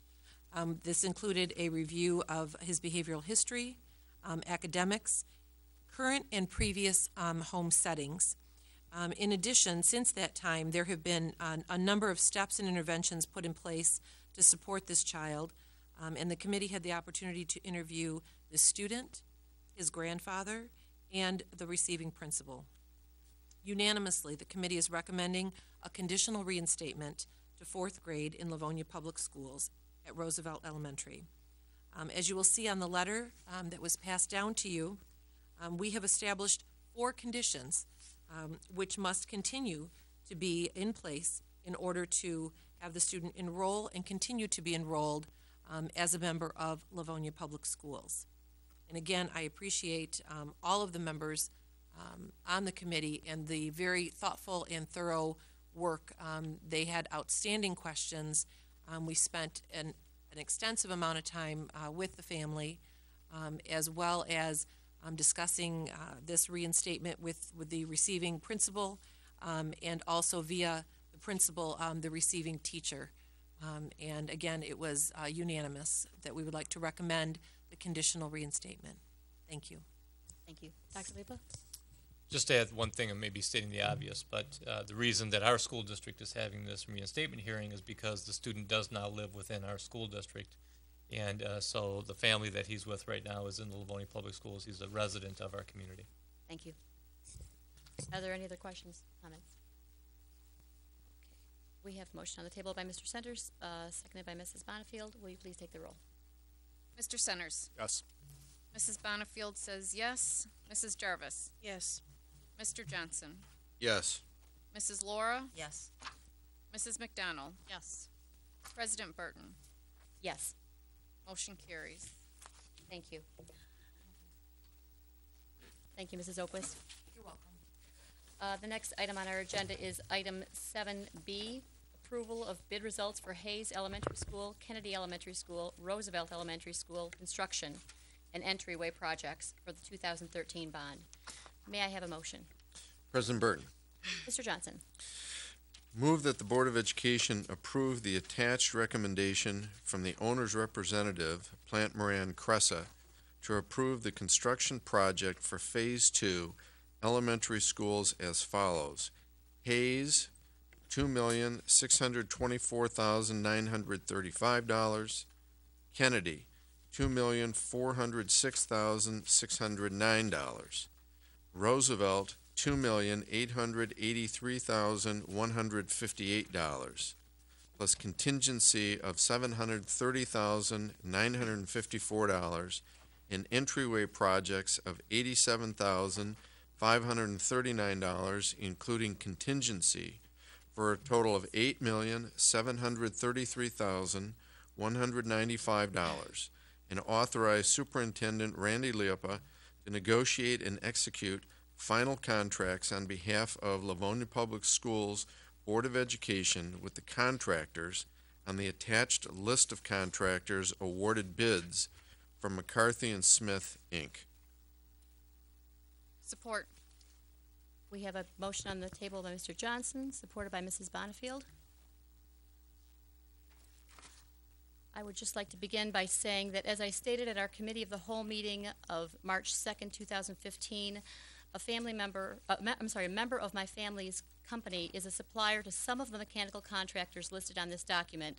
So therefore, I will be abstaining from all discussion and voting on the item of the Hayes, Kennedy, and Roosevelt construction. Because this company is a subcontractor and does not bid directly, directly to LPS, I have been advised that I do not have to abstain, but I am choosing to do so in order to be completely transparent. To understand the perspective, the company was asked to quote approximately $3,000 worth of cleaner and related products on the school's over $2 million project. And Ms. Abby, Thank you very over much. to you. I am going to make a couple of introductory uh, uh, comments uh, as we have a lot of uh, bids before you tonight, and then introduce uh, some folks here tonight that'll help us with all of these bids. As you know, um, this is our second meeting that we're bringing forward uh, RFPs and bids for our Phase Two projects. Um, we've already approved the construction for Riley and um, Emerson schools. Tonight, we, as you just read the um, resolution for Hayes, Kennedy, and Roosevelt, which will be our Phase 2 K-4 schools that we're renovating this summer. Um, We're also bringing forward several bids relative to uh, abatement projects this summer, and then also the approval for the abatement uh, contractor or the person who oversees that for Franklin High School. Uh, As you also know from your very busy March calendar, we will be coming back to you next Monday uh, to talk about the Franklin High School um, bids, and we will bring that to you next week, as well as a couple of um, housekeeping items. We'll be looking at move management next week. You'll recall that we pulled that off, as well as there are two um, bids that were not completed um, for the first uh, Hayes, Kennedy, and Roosevelt that we'll be bringing to you that we did not open and that we rebid. So a couple of housekeeping items, but the big uh, event next week will be Franklin High School. Um, we'll be bringing that to you. Tonight, there are several um, abatement projects. Uh, we'll be looking at the abatement for Hayes, Kennedy, Roosevelt, as well as Riley Emerson, and then Franklin High School. You'll see those in three different motions tonight. I did want to mention a couple things, and, and I'm sure Paul um, will talk about this as well, but uh, for Hayes, Kennedy, and Roosevelt, um, first of all, for all five of those projects, we are, or six of those projects, we have picked the lowest bid to meet our specifications. So the lowest vendor, lowest bid to meet our um, requirements and specifications. Second of all, for the three elementary schools, those are vendors that we used actually in phase one. Um, we're very comfortable and confident of those vendors. For Riley, Emerson, and Franklin, uh, again, while those are not uh, new to Livonia Public Schools, um, we did have very extensive post-bid interviews with all uh, several of those companies. Um, we're very confident about their ability to do the work. We spent a significant amount of time with them. That included our operations staff as well as the um, consulting company ETC or Nova um, that oversees the abatement projects as well. And uh, again, for them, as you see in your packet, for them to make their recommendation, they do have to feel strongly that they can get the work done. So uh, we are very pleased that we could bring uh, very nice, attractive um, bid amounts on those abatement projects. Um, so with that, I will introduce, we have Mr. Paul Wills here from Plante Moran Cresa. We haven't seen Paul in a little while, so we're excited to have him back. Uh, Mr. Terrio is not available tonight, but that's all right. I think Paul will do a good job. Um, as well as Steve Venchero from uh, McCarthy Smith to uh, help answer any questions we might have. And with that, I'm excited to uh, bring forward the bids as we get forward to getting started on our Phase 2 projects this summer. Thank you, Lisa. And again, my name is Paul Wills. It is good to be back in front of the Livonia Public Schools Board. Uh, relative to the Hayes, Kennedy, and Roosevelt, um, those ish, uh, construction documents were issued on January 12th, as issued by French Associates. On February 4th, the bids were due. There's over 182 bids um, from 82 various vendors, so phenomenal bid coverage relative to that. Um, we're going to jump around a little bit from the agenda, but you should all have your work uh, packet from there. And if you were to turn to tab uh, A2, it does have the approximation of the $8,733,195. Um, one of the things we're able to uh, successfully say is working collaboratively with uh, Henry Lau and uh, or Harry Lau as well as the administration and, and the board and McCarthy Smith is we're currently $745,000 underneath phase two for these projects. So um, feel very good about that. Um, on tab A3, this is the McCarthy Smith breakdown for the uh, specific specifications in the bid tabulation sheets themselves for individual contractors.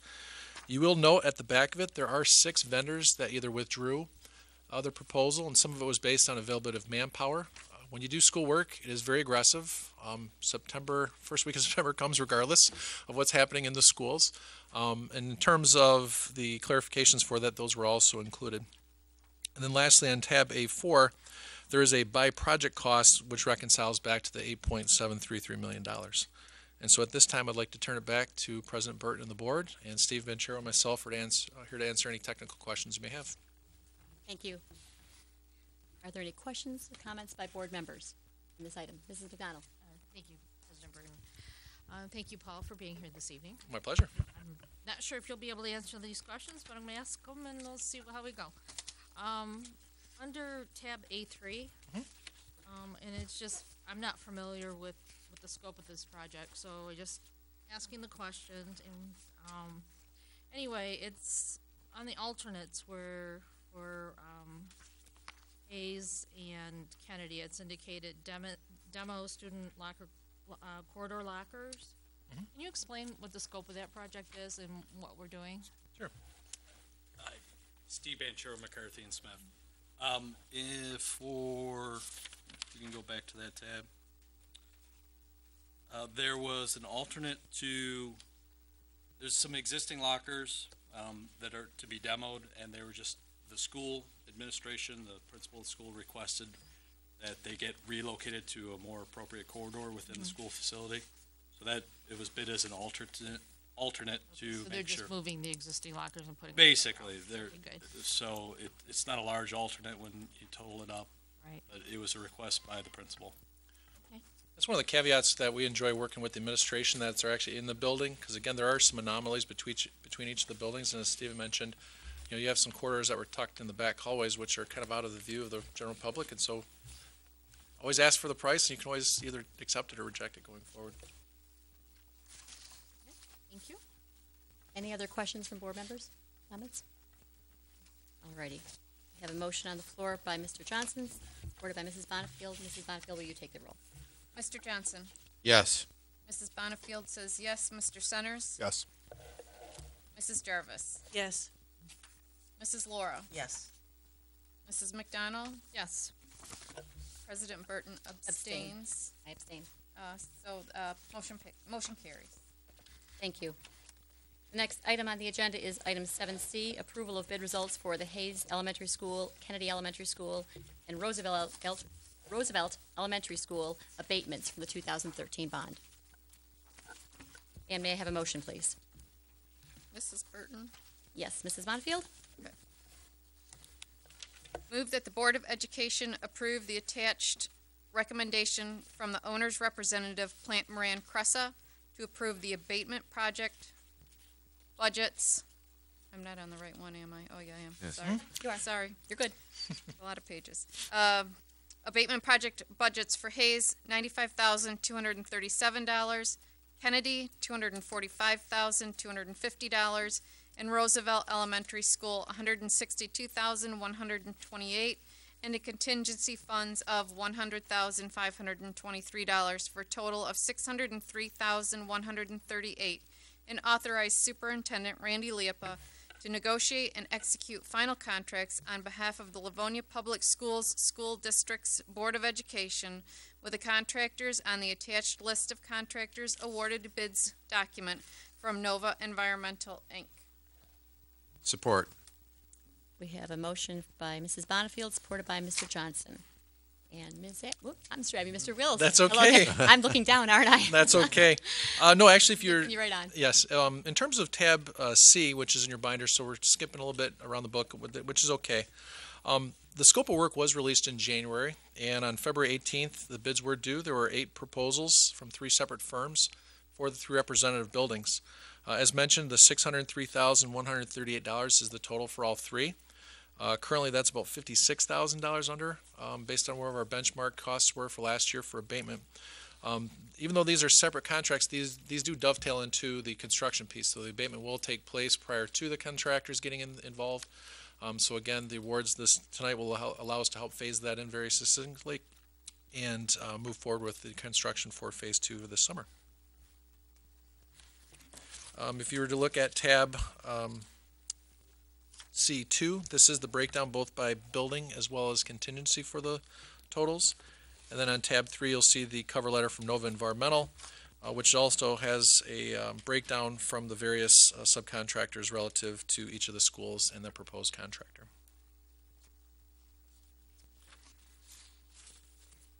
Are We all set, Mr. Wills? All set? Okay. Are there any questions or comments from board members? Nope. Is that a question, Mr. Centers? Nope, okay. All right, we have a motion on the floor by Mrs. Bonifield that's supported by Mr. Johnson. Mrs. Bonifield, will you take the roll? Mrs. Bonifield says yes. Mr. Johnson? Yes. Mr. Centers? Yes. Mrs. Jarvis? Yes. Mrs. Laura? Yes. Mrs. McDonald? Yes.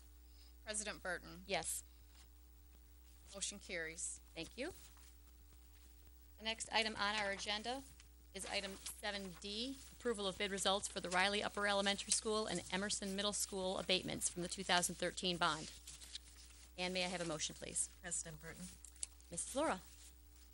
Move that the Board of Education approve the attached recommendation from the owner's representative, Plante Moran Cresa, to approve the abatement project budgets for Riley Upper Elementary, seventy-six thousand five dollars, and Emerson Middle School, one hundred four, forty-seven thousand one hundred dollars plus contingency of forty-four thousand six hundred twenty-one dollars for a total amount of two hundred sixty-seven thousand, seven hundred twenty-six dollars, and authorize Superintendent Randy Liepa to negotiate and execute final contracts on behalf of Livonia Public Schools School District's Board of Education with the contractors on the attached list of contractors awarded bids document from Environmental Testing and Consulting, Inc. Support. We have a motion on the floor by Mrs. Laura, sup- uh, supported by Mrs. Jarvis. Mr. Wills. Thank you, President Burton. Um, Relative to tab D, um, that scope of work also was verified uh, with the district, as well as the architects and engineers and contractors to coordinate this work. On February 5th, there were 10 bids received by five firms.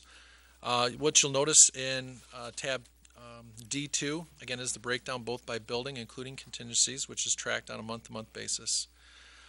Uh, In tab D3, you'll see the award letter from Engineer Environmental Testing uh, Consulting. And Jeremy Westcott, the team of Plante Moran Cresa, and again, Harry Lau were able to interview multiple bidders for this project. Um, you will note that there was actually two, um, firms. One was Global Green was disqualified, and Dorn Associates withdrew their bid for, uh, the work consideration going forward. Um, if you'll take a look at the tabulation sheet, you will see that Sloan out of Redford, Michigan, uh, is the lowest responsible and qualified bidder. Um, they are um, somewhat less than the others.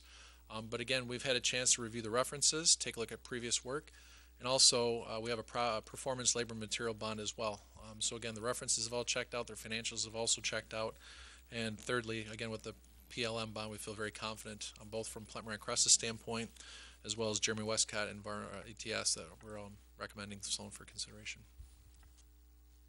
Thank you. Are there any questions or comments by board members? Mrs. McDonald? Uh, Thank you, Paul. We have a stopgap in place as far as any, protecting us as far as change orders go in Correct. middle? Correct. Yeah, it was interesting. We spent, um, Plante Moran Crest team and the district's administration spent a lot of time with Sloan, Eric, and his team just to make sure there's no gaps, and that's why I did the extra due diligence with them, uh, comparison to the other two firms that were interviewed. And it's all inclusive in terms of the work scope that's there, so That's good. it is. Any other questions or comments, board members? No? We have a motion on the floor by Mrs. Laura that's supported by Mrs. Jarvis, and Mrs. Bonifield, will you please take the roll? Mrs. Laura? Yes. Mrs. Jarvis? Yes. Mr. Centers? Yes. Mr. Johnson? Yes. Mrs. McDonald? Yes. Mrs. Bonifield says yes. President Burton? Yes. Motion carries. Thank you. The next item on our agenda is item seven E, approval of Franklin High School Environmental Service Agreement. May I have a motion, please? Mrs. Burnham, Yes, Mr. Centers. move that the Board of Education approve the attached recommendation from the owner's representative, Plante Moran Cresa, to re-engage the contract and approve the addition, the attached change orders for the high, Franklin High School environmental consultants to ETC Environmental Consulting at an estimated total cost of twenty-five thousand dollars, including contingency funds of five thousand dollars. Support. Mrs. McDonald? We have a motion on the floor by Mr. Centers, supported by Mrs. McDonald. Mr. Wills? Thank you. Um, if you recall, uh, previous to last summer, there was a request for proposals for environmental management. Um, both Nova Environmental and DETC Group were uh, selected for those particular projects. Um, in ter- team, terms of reviewing the previous scope of work, um, the team does feel very satisfied with the uh, work that ETC has done, and we're recommending them to renew their engagement uh, for $20,000 plus the $5,000 allowance for testing reports, et cetera. Uh, this is an hourly rate on a time and material basis not to exceed twenty-five thousand dollars. Are there any questions or comments on this item? We have a motion on the floor by Mr. Centers, supported by Mrs. McDonald, and Mrs. Bonifield, will you take the roll, please? Mr. Centers? Yes. Mrs. McDonald? Yes. Mrs. Jarvis? Yes. Mr. Johnson? Yes. Mrs. Laura? Yes. Mrs. Bonifield says yes. President Burton? Yes. Motion carries. Thank you. Next item is item seven F, approval of bid results for the Franklin High School abatement from the two thousand thirteen bond. And may I President- have a motion? President Burton. Yes, Mrs. Jarvis. Move that the Board of Education approve the attached recommendation from the owner's representative, Plante Moran Cresa, to approve the abatement project budget for Franklin High School for a total amount of one hundred ninety-three thousand, eight hundred ninety dollars, including contingency funds, and authorize Superintendent Randy Liepa to negotiate and execute final contracts on behalf of Livonia Public Schools Board of Education with the contractors on the attached list of contractors awarded bids document from Environmental Testing and Consulting Incorporated. Support. We have a motion on the floor by Mrs. Jarvis, center, or, uh, supported rather, by Mr. Centers. Getting late. So similar to Riley and Emerson, uh, their scope of services was issued in January timeframe. And on February 25th, uh, there were multiple bids relative to the scope of work. Keep in mind, it's actually a two summer phase, so it's summer of 15 as well as summer of 16. It's a big school. Um, we will get to all of it, and again, working with the architect and construction manager, looking at the phasing considerations. Um, you will see in there, there is the cover letter from Environmental Testing and Consulting in tab E3. Um, in terms of total environmental, they are out um, of Toledo, Ohio, and have done actually a multitude of uh, projects in southeast Michigan. Uh, coincidentally, we're actually working with them on Detroit Wayne Mental Health's 80,000 square foot abatement. They're actually doing a very good job. So at the end of the day, uh, the recommendation from the team is to award uh, two total uh, for the two summer phase work. Other questions or comments from board members? Nope. We have a motion on the table from Mrs. Jarvis, sent, uh, supported by Mr. Centers, and Mrs. Bonifield, will you take the roll? Mrs. Jarvis. Yes. Mr. Centers. Yes. Mr. Johnson. Yes. Mrs. Laura. Yes. Mrs. McDonald. Yes. Mrs. Bonifield says yes. President Burton. Yes. Motion carries. Thank you. Next item on our agenda is item seven G, approval of resolution for best practices and incentive grant. Actually, if I can, uh, back up just a moment, uh, Mr. Wills, uh, I'd like to publicly bring to, bring to the public, public's attention because folks who may not have been looking at all these documents along with us may not have, have noticed, but every one of, four of those five, uh, that we just looked at came in under budget and the other one was right at budget. Correct. that correct? That is correct. So obviously, there's a lot of activity in southeast Michigan between a new stadium project that's going on, uh, the wraps up of Detroit Medical Center's capital projects. So be able to get the drawings done early, get them out for bids early, have an award early on that allows the long procurement. So again, thank you to the board and to the district for moving things quickly on your end as well. So Thank you. It's, it's Thank you. it's been a, a group project and. uh, Absolutely. We we all have, have been racing under incredible deadlines and, and it's, it's uh, paying off and it's appreciated. very good. Thank you. Thank you. Thank you. Apologize to my board for jumping backward there for a moment. Uh, item seven G, uh, approval of resolution for best practices incentive grant. May we have a motion, please? Uh, President Burton. Mrs. McDonald. Move that the Board of Education of the Livonia Public Schools School District adopt the attached resolution for the financial best practice incentive grant that is offered by the state of Michigan for the 2014-15 school year. Support. We have a motion on the table by Mrs. McDonald, supported by Mrs. Jarvis. And we will be hearing from Mrs. Abbey. Thank you very much. I have quickly moved from operations to finance over here. Your seat in your head.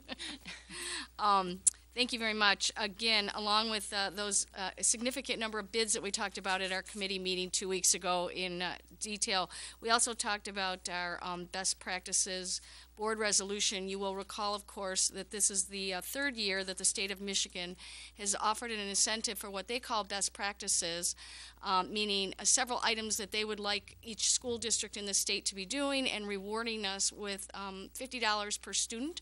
Unfortunately, that's down from uh, prior years. It was higher, 52 the year before, and then $100 the year before for that amount of money. Um, however, these are items that Livonia Public Schools really did anyway, generally. There's a couple of uh, small items uh, that we added, which is a portal to Michigan school, school data. But generally speaking, these are um, initiatives that Livonia Public Schools was engaged with uh, uh, for many years. Um, so we did review the list of uh, best practices. We're required to meet seven out of nine. Uh, we have done that. We've included that in your packet as well as we've talked about that at a study session as well as our committee meeting. Um, you have the resolution in front of you. What we have done is crossed out the two that, that we are not considering a part of Livonia Public Schools um, Best Practices Initiative. And um, we are looking forward to having this approved so we can get that to the state. Uh, Again, for Livonia Public Schools, at $50 a student, that's a little over $700,000 uh, from the school aid fund into our general fund. So uh, with that, I'd be happy to answer any questions. Thank you. Are there any questions or comments from board members? Nope. Uh, we have a motion on the table by Mrs. McDonald, uh, supported by Mrs. Jarvis. Mrs. Bonifield, will you take the roll? Mrs. McDonald? Yes. Mrs. Jarvis? Yes. Mr. Centers? Yes. Mr. Johnson? Yes. Mrs. Laura? Yes. Mrs. Bonifield says yes. President Burton? Yes. Motion carries. Thank you. Item seven H is the adoption of the 2014-2015 third budget amendments. May we have a motion? President Burton, Mr. Johnson, thank you. Move that the Board of Education of the Livonia Public Schools School District adopt the attached amended budgets for the 2014-15 school year. General Fund, Special Education Fund, Debt Retirement Fund 2013 Bond Series 1, Debt Retirement Fund 2014 Refunding Bond, 2013 Bond Fund, Building and Site Technology Fund, Sinking Fund Capital Projects, 2012 Capital Projects Fund, Food Service Fund, Health and Welfare Fund, Athletic Fund, Scholarship Fund, and Funded Projects Fund. we have a motion on the table by Mr. Johnson, supported by Mrs. Laura. And we'll be hearing from Ms. Abby. Thank you very much. Um, Again, this was an item that we brought to the Board of Education Finance Committee meeting and Committee of the Whole meeting um, at our last session two weeks ago. And at that time, I did uh, go over in detail the changes in our general fund uh, from budget amendment number two to budget amendment number three. I've also provided that summary again at, um, at your table this evening so that you have that information. Uh, What we will be asking for is a rela- resolution to adopt all those funds that uh, Mr. Johnson just read, the changes for the third budget amendment. I'll briefly go over this general fund changes, if I may.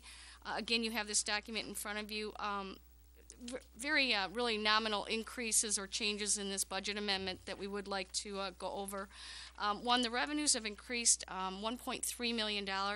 As we discussed at our last Finance Committee meeting, most of that, about $1.1 million, is a reflection of the increase in state aid that we've received for retirement, increase in retirement rate, back, basically. This is the unfunded stabilization rate that you hear about, or 147C and 147D that you've heard about. Um, that revenue is also, also offset by the exact amount in increased expenditures for the retirement costs. So there's an increase of 1.1 in revenue, there's also an increase in 1.1 million of expenditures, really with a net zero effect on our fund balance. Um, other changes to revenue that you see in that $1.3 million, we did see an increase of about $400,000 in prior year revenues from the state. Those are adjustments that go up and go down and go up and go down, and each time that we see them, we do bring them to the Board of Education so you have the most up-to-date information. And then there were some minor changes in some of our transfers and other revenues. Again, overall revenues increasing 1.3 million. Expenditures actually increased uh, about $700,000.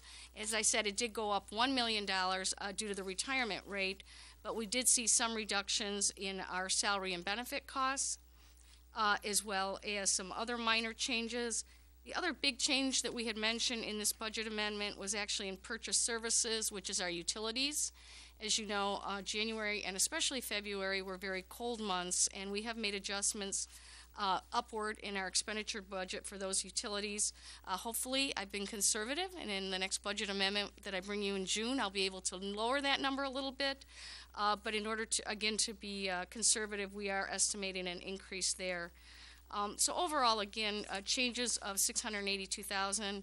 We are pleased to say that provides a, a change in our overall deficit uh, by six to the good by 640,000 looking at overall fund balance at the end of the 630-15 school year of just a little over a million dollars. So that's gone up from our last estimate of 400,000 to just a little over a million dollars. So while we'd certainly like to see that higher, we are hopeful that we can keep it at least here and continue to make efforts to uh, continue to increase that fund balance. Um, You'll recall, one of the things that we mentioned at the committee meeting is that, uh, as Dr. Liepa had outlined in a great deal of detail, when we brought you that very first budget amendment uh, in the fall this year, early, actually late summer, um, we had not met all of our budget targets for this year, and so we have made efforts to control spending, um, not to fill every position, uh, only re- fill required positions, and other areas where we've been able to uh, work at trying to save some money and build up that fund balance a little bit this year and get closer to all of our targets. So uh, hopefully we'll be able to stay on that path. Um, A couple of things to think about, of course, as I mentioned, uh, hopefully utilities will come in uh, a little bit lower.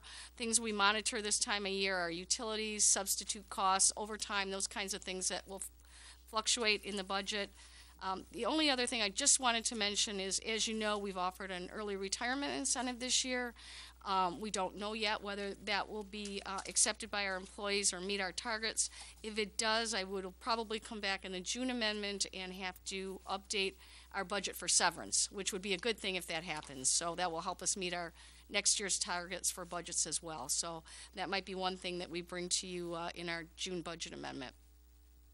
So with that, again, we do uh, bring you a June amendment as well with any other changes we have in our budgets. Um, And as you had an opportunity to get the entire um, general fund and other district budgets book in detail um, last week in your packet, that outlines all of the other funds that we've asked you to approve for tonight. Uh, There were not significant changes in those, so um, I think those will be fine to move forward with. And then, of course, we always update our graphs and the detailed information in the back of the budget book, so you have that as well. And with that, I'd be happy to answer any questions. Thank you. Are there any questions or comments from board members? Mrs. McDonald? Um, Ms. Abby, thank you again for the presentation this evening. Um, the increase in the, uh, retirement from the beginning of the year to now, it, to me is a lot. Um, but how, what kind of steps or increases are we going to be seeing in, you know, for like next school year? I mean, do you have an idea of what that's gonna be at this point, or? We don't have, so there's two different retirement rate increases. They're the ones that I would say are our normal retirement rate increases that affect our budget. We've seen them at a half a percent, we've seen them at a percent. Right now, we're seeing that as flat for next year. So that would be what's in the governor's proposal right now, would be flat for the next school year. These retirement rates that I'm talking about, the 147C, 147D, those are called rate stabilizations. And while that rate is going up, and what's that, what that's helping to do is get money into the pension system, so those funds are going into the pension system, increases those expenditures, they hit our books just like the regular retirement rate, but then we're also getting some resources from the state to offset those costs.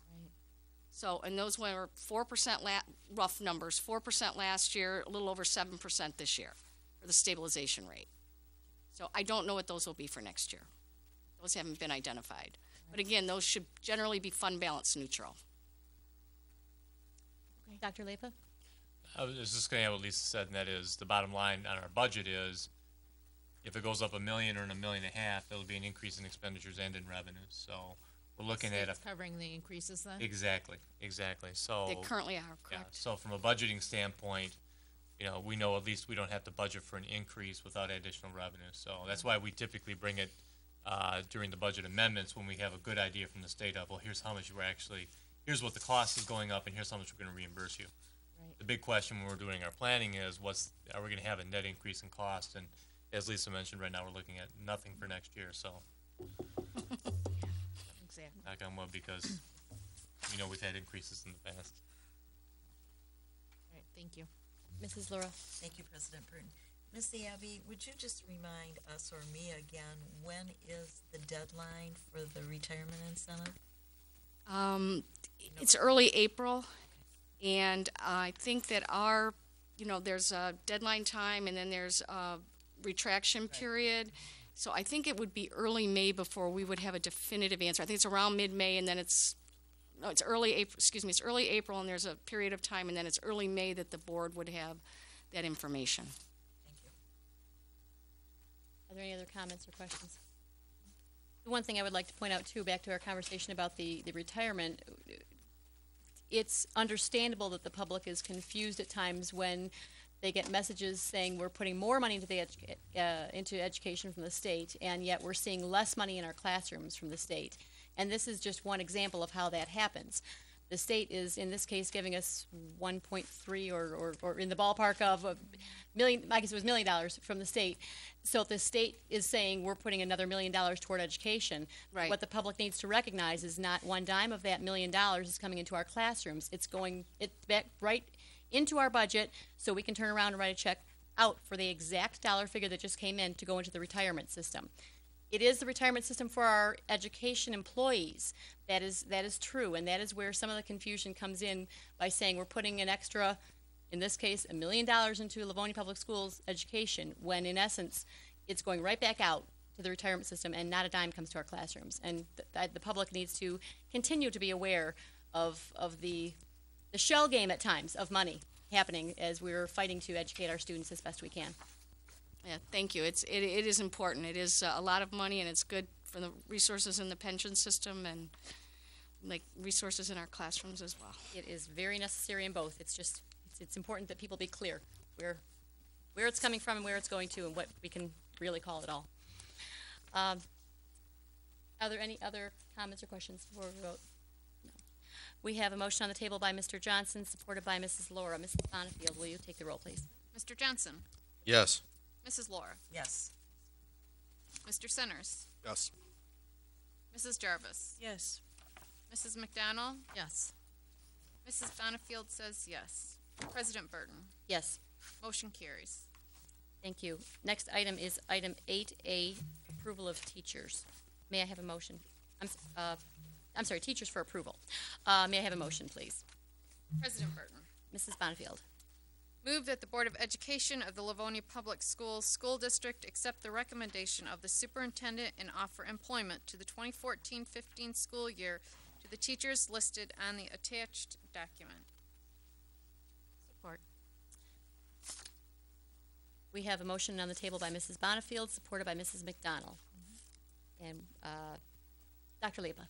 Yes, we have uh, three teachers for recommendation tonight. One is a uh, part-time uh, physical education teacher who will actually provide services through our shared time program at our Niji School. So this is a program improvement for us that uh, we're uh, pleased to get finalized as we're continuing to implement that, that program. And the other two are uh, filling existing openings in our school district that were in place prior to the semester break, which means by contract, we're required to fill those positions. And so we have a kindergarten teacher at one of our elementary schools and a second grade, grade teacher at one of our elementary two schools that are filling openings that are required by the contract. Thank you. Are there any other questions or comments on this? Okay, seeing none, we have a motion on the table by Mrs. Bonifield, supported by Mrs. McDonald. Miss- Mrs. Bonifield, will you take the roll, please? Mrs. Bonifield says yes. Mrs. McDonald? Yes. Mr. Centers? Yes. Mrs. Jarvis? Yes. Mr. Johnson? Yes. Mrs. Laura? Yes. President Burton? Yes. Motion carries. Thank you. Next item on our agenda is eight B, leaves of absence. May I have a motion, please? Move that the Board of Education of the Livonia Public Schools School District accept the recommendation of the superintendent and approve the request for leaves of absence as listed below. Rebecca Blossom, David Fuller, Danielle Kearney. Support. We have a motion on the table by Mr. Centers, and that was supported by Mrs. McDonald. Is that correct? Did I hear it correctly? Okay. Two female voices down there. Sometimes they kind of blend. Uh, Are there, uh, I'm sorry, uh, Dr. Liepa. Yes, we have uh, recommended uh, three different leaves that have been uh, uh, processed through our personnel department. Uh, The request came in, and they meet all of our requirements in regards to approving the leaves, and so we're recommending that they're approved tonight. Thank you. Any questions or comments on these? We have a motion on the table by Mr. Centers, supported by Mrs. McDonald and Mrs. Bonifield. Will you take the roll? Mr. Centers? Yes. Mrs. McDonald? Yes. Mrs. Jarvis? Yes. Mr. Johnson? Yes. Mrs. Laura? Yes. Mrs. Bonifield says yes. President Burton? Yes. Motion carries. Thank you. The next item on our agenda is eight C, retirements. May I have a motion, please? President Burton, Mrs. Laura. Move that the Board of Education of the Livonia Public Schools School District adopt the attached resolution of appreciation for the services rendered by Robert Bullinger, Janice Ford, Linda Richardson, Norma, Norman, I'm sorry, Sorella, Nancy Sternecki. Support. We have a motion on the floor by Mrs. Laura, supported, I believe, by Mr. Johnson was first, although we have quite a few. Uh, Are there any questions or comments? Just congratulations. Dr. Liepa, would you like to address this issue, this item? Yes, uh, we have the recommendation for five different uh, members that are members of our support staff in our school district and uh, names that are familiar to many people who work inside of our school district. Uh, they're wonderful people. They've committed a significant amount of time to our school district, and they deserve all of our recognition for working on behalf of our kids. They certainly are representative of the amazing support staff that we have in the school district. And with your approval tonight, we will be very, very proud to present to them the resolutions on behalf of the Board of Education, uh, recognizing and honoring their, their service. Thank you. Any other comments? We have a motion on the floor by Mrs. Laura, uh, supported by Mr. Johnson. And Mrs. Bonifield, will you take the roll? Mrs. Laura? Yes. Mr. Johnson? Yes. Mr. Centers? Yes. Mrs. Jarvis? Yes. Mrs. McDonald? Yes. Mrs. Burton says yes. Yes. President Johnson, or President. We're- we're all. Mrs. Burton says yes, yep. Voting Say by yes, I proxy say yes. now? Yes. President Burton, yes. Thank you, and this vote is unanimous. Next item on our agenda is item nine, reports from the superintendent. Dr. Liepa. Thank you very much, President Burton. Uh, we had a, a great weekend here in uh, LPS. Uh, our Stevenson hockey team was playing for the state finals down the road at CompuWare, and uh, it was a great season. Even though uh, we we didn't prevail in the final, it was a great season for the kids. I uh, want to recognize Coach Dave Mitchell. Uh, he's an amazing person who puts his heart and soul into uh, his efforts with the team, and really is just representative of so many of our uh, uh, staff members and our uh, employees who uh, go above and beyond to provide these extracurricular opportunities for kids, and work so so much more than um, than uh, they're compensated for for the little amount of money they get to be to be a coach. Uh, I, I want to take a second too just to recognize uh, our fans, our kids, uh, and our and our players for their sportsmanship. Uh, and I think we've mentioned this in the past before, but uh, if you were there, the compliments that we received on Saturday are very similar to the compliments that we receive at all three of our high schools, at all sorts of different sporting events, and that is the behavior of our kids, the monitoring of it of our staff, uh, the be- behavior of our of our community uh, is really uh, not only second to none, but it's recognized by other schools across the state. They talk about coming to one of our events and how uh, how well behaved we are, uh, how what great spirit we have, and how we really represent what extracurricular activities are supposed to be a, about at our high schools. It, it was just amazing if you just saw. I mean, it was the place was packed. And if you just saw the way our kids behaved throughout the entire game, supporting their team, but not knocking down the other team at any point in time. In fact, one of their players of the opposing team was injured in front of our kids, and they all sat down. They stood the whole game. They sat down at that point in time to recognize that the kid was hurt. And when he got up and skated off, they all applauded him. Uh, they did not hear that from the athletic director or the principal. They did that on their own. And uh, we have a lot, lot to be proud of because this is exemplary again of what happens at every one of our high schools uh, at the vast majority of our events. And um, uh, it's it's a great program that we have and great kids, and uh, we should be very proud of that. So I just want to recognize that and also recognize one of our colleagues up here at the board table, Mr. T- Miss Tammy Bonifield, who was recognized by MASB for achieving her level one certification and at the same time recognized for her board uh, award of merit. So Tammy, phenomenal job, your dedication. Your dedication to our school district is, uh, is noted, and, uh, we're very lucky to have you. So, thank you. That's it for tonight. Thank you. The next item on our agenda is item ten A. Hearing from board members And item A is the first reading of Board Policy EBA, disposition of real property.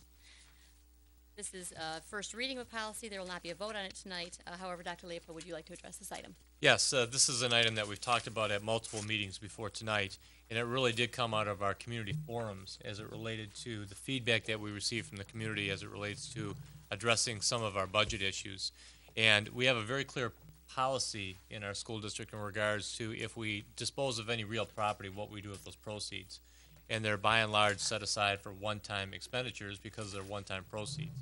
Uh, but we heard loud and clear from the community that in order to maintain the programs for the kids and maintain the brand of the Livonia Public Schools, that in order to get us through some of these difficult times, uh, they would like to see us use uh, any proceeds that we may get to support our school programs. And so the board looked at its policy, spent some time on it, and we added a sentence that would be clear that if the district's general fund fund balance is below five percent, that the board then would have the option to utilize those funds to help maintain and save programs in our general fund as opposed to the existing policy. If it's over five percent, then it still goes to the building and site fund to be used for one-time purchases. And even if it's below five percent, the board has the option to do that. But this provides the flexibility for the Board of Education as you're making very difficult budget decisions, that if our fund equity is down low and we need those dollars to save programs, that we have the ability to do that. So that is the purpose of the recommended added change to the disposition of real estate, a real property, uh, board policy. And, uh, again, we've talked about it multiple times and we're, uh, would like to see this, uh, moved ahead. Thank you. That is the first reading of that board policy. That, uh, that same policy will come up for a vote at our next general meeting in April. Next item on our agenda is item ten B, first reading of board policy for policy JCEC, bullying prevention. And again, Dr. Liepa. Yes, we have a very extensive bullying policy uh, in our school district uh, and in our, uh, you have in your board policy to make it clear the expectations for uh, everybody in our schools in regards to uh, bullying and how we're going to address bullying. Uh, The reason that we have this before you tonight is that the state of uh, Michigan did provide or did pass a new law in December related to cyberbullying, which we're all very familiar with. And so we had to look at our bullying prevention policy to see if it met all the criteria that were now underlined under the new law. And while our existing policy did cover the vast majority of things that were required under the board, uh, under the new state law, we did have to make a few changes. And so you will see on page one, uh, when we talk about the definition of bullying, we include in there including but not limited to cyberbullying. That's in addition to meet the uh, requirements. We also added in there a definition of cyberbullying in regards to what it is, any el- electronic communication that is intended or that a reasonable person would know to likely harm one or more students either directly or indirectly by doing any of the following and list what that means. So that's much more clearly spelled out as it relates to cyberbullying again in our policy. Down on the next page, page two at the bottom, you can see that we'll be required now to publicize our, this policy by putting it on our district's website. We already do that because all of our policies are on our website, but this just clarifies in the policy that we will do that. And last, on page three, we had to add a uh, sentence in there to make sure that uh, confidentiality in regards to dealing with any issues that may come before us are handled in an appropriate manner to protect kids. Uh, we do have certain laws and requirements that we have to follow, but outside of that, uh, uh, there's some clarification there to make sure that we're uh, doing what we can to protect kids in the investigation process. And so, uh, again, that's clarification that was outlined in the new law in December. Uh, the vast majority of our policy covers the intent of what was required, and we have those changes uh, because of the change in the state law. Thank you. Again, this is a first reading of that policy. It will be voted on at our April voting meeting. Next item on our agenda is item ten C, second reading of board policies. May I have a motion? Uh, President Burton, Mrs. McDonald. move that the Board of Education of the Livonia Public Schools School District accept the recommendation of the Policy Committee and adopt language per the attached documents for the following board policies. ABCA, number of board members. AEA, school calendar. BBD, Board Superintendent Relations, BCAC Special Meetings, GAHA Staff Involvement in Community Activities, IDD two Special Programs, IHAB Report Cards, JCDA Student Behavior and Conduct, JGCA Student Health Examination, JN Awards and Scholarships, JR Student Records. Support. We have a motion by Mrs. McDonald, supported by Mr. Johnson. Dr. Liepa. Yes, so these are all grouped together. Uh, there are a lot of policies here, but they're grouped together because these are really just clerical changes that the Board of Education has made as it reviewed all of its policies over the last year and a half. And so they're just basically cleanup items, no real change in the intent of any of these policies, uh, but include a handful of clerical changes to make sure that they're updated. And also the date on them will all be updated to know, so the community knows that these policies have all been reviewed by the board and updated over the past uh, uh, year and a half. Thank you. Any questions or comments on these items? President Burton? Yes.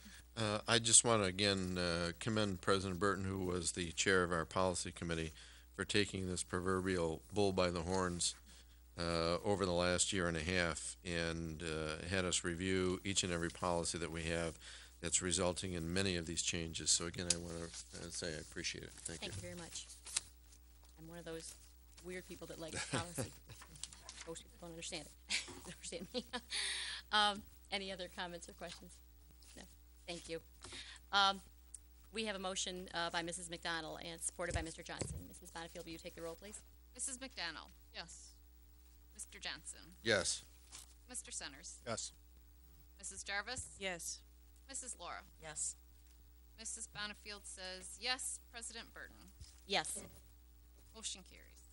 Thank you. Next item on our agenda is item 10D, hearing from board members.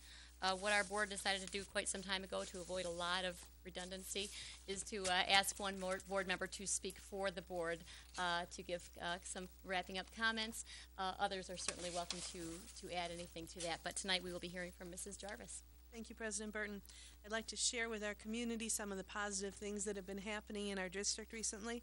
Firstly, I'd like to thank the members of our community who came to speak to us tonight. We really do value your opinions, and we appreciate your time. I'd like to congratulate all of our honorees tonight.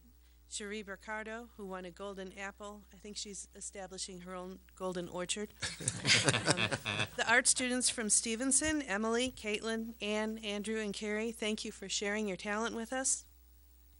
I'd like to thank Rosedale PTA for their generous gift of iPads to use in their school. I'd like to uh, commend the five retirees that we honored tonight, and I hope that as they turn the page to the next chapter in their lives, that the story continues to be thrilling. I would like to recognize all of our schools participating in the March's Reading Month. I hope reading becomes not only a lifelong habit, but a lifelong pleasure.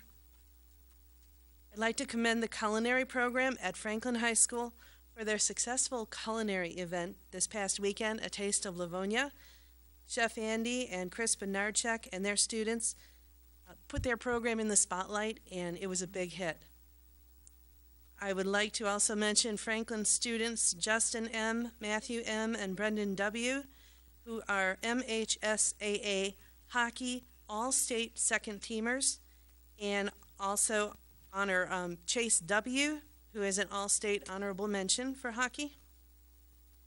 And I would finally like to mention the Livonia Warriors robotics team, who participated this past weekend in competition.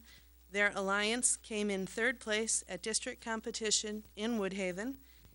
Additionally, they brought home the Excellence in Imagery Award, recognizing the design and appearance of their robots, as well as communication, PR, and use of social media. If you want to see more of them in action, the Warriors will be hosting district uh, competition at Churchill on uh, Friday and Saturday, March 27th and 28th, and the public is welcome to come on down and check it out. Thank you. Thank you. Do we have comments from any other board members tonight?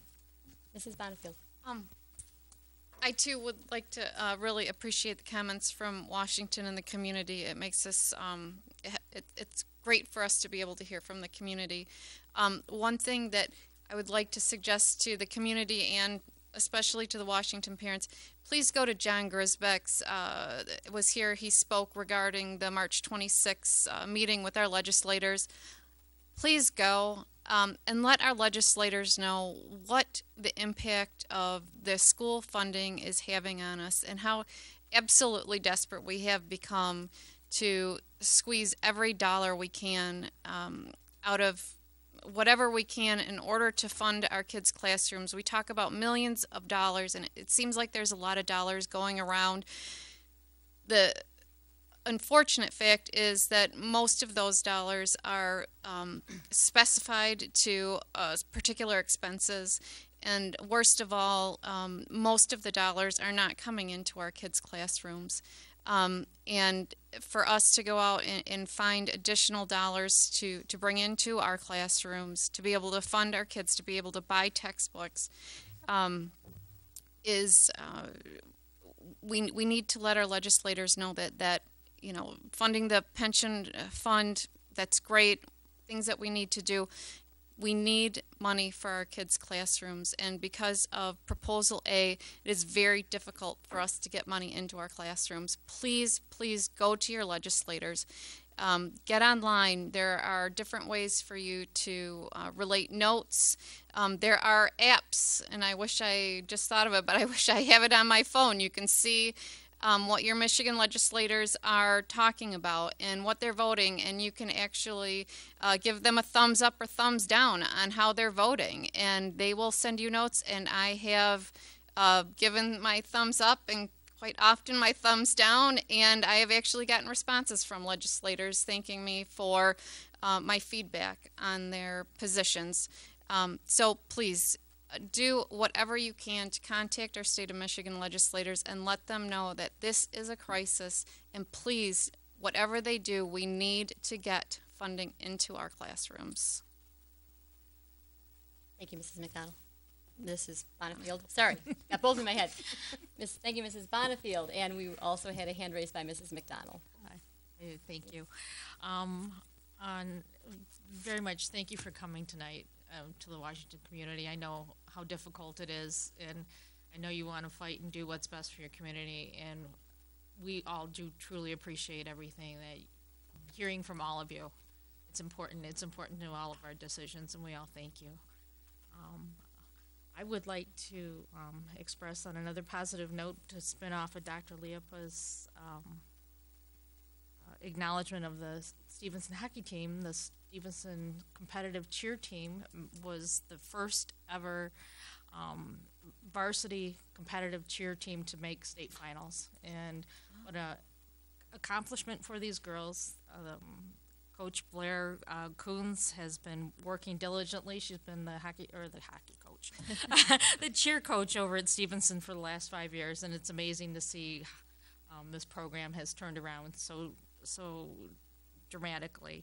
Um, competitive cheerleading isn't what most people think of cheerleading. It's uh, athletic training, it's gymnastics, it's tumbling, it's five days a week, three hours a day, and you still have to go home and do your homework. Um, these girls work very hard all year, and it's a testament to their drive. Last year, they missed states by literally less than a point. So they had the motivation to, to really go forward and um, make us all very proud. And as a testament, um, we had girls from the other high schools come to the state finals to cheer our girls on. And that was really a proud moment for me. But even at the association and uh, districts and regional competitions, these girls all collectively cheered each other on from all three high schools.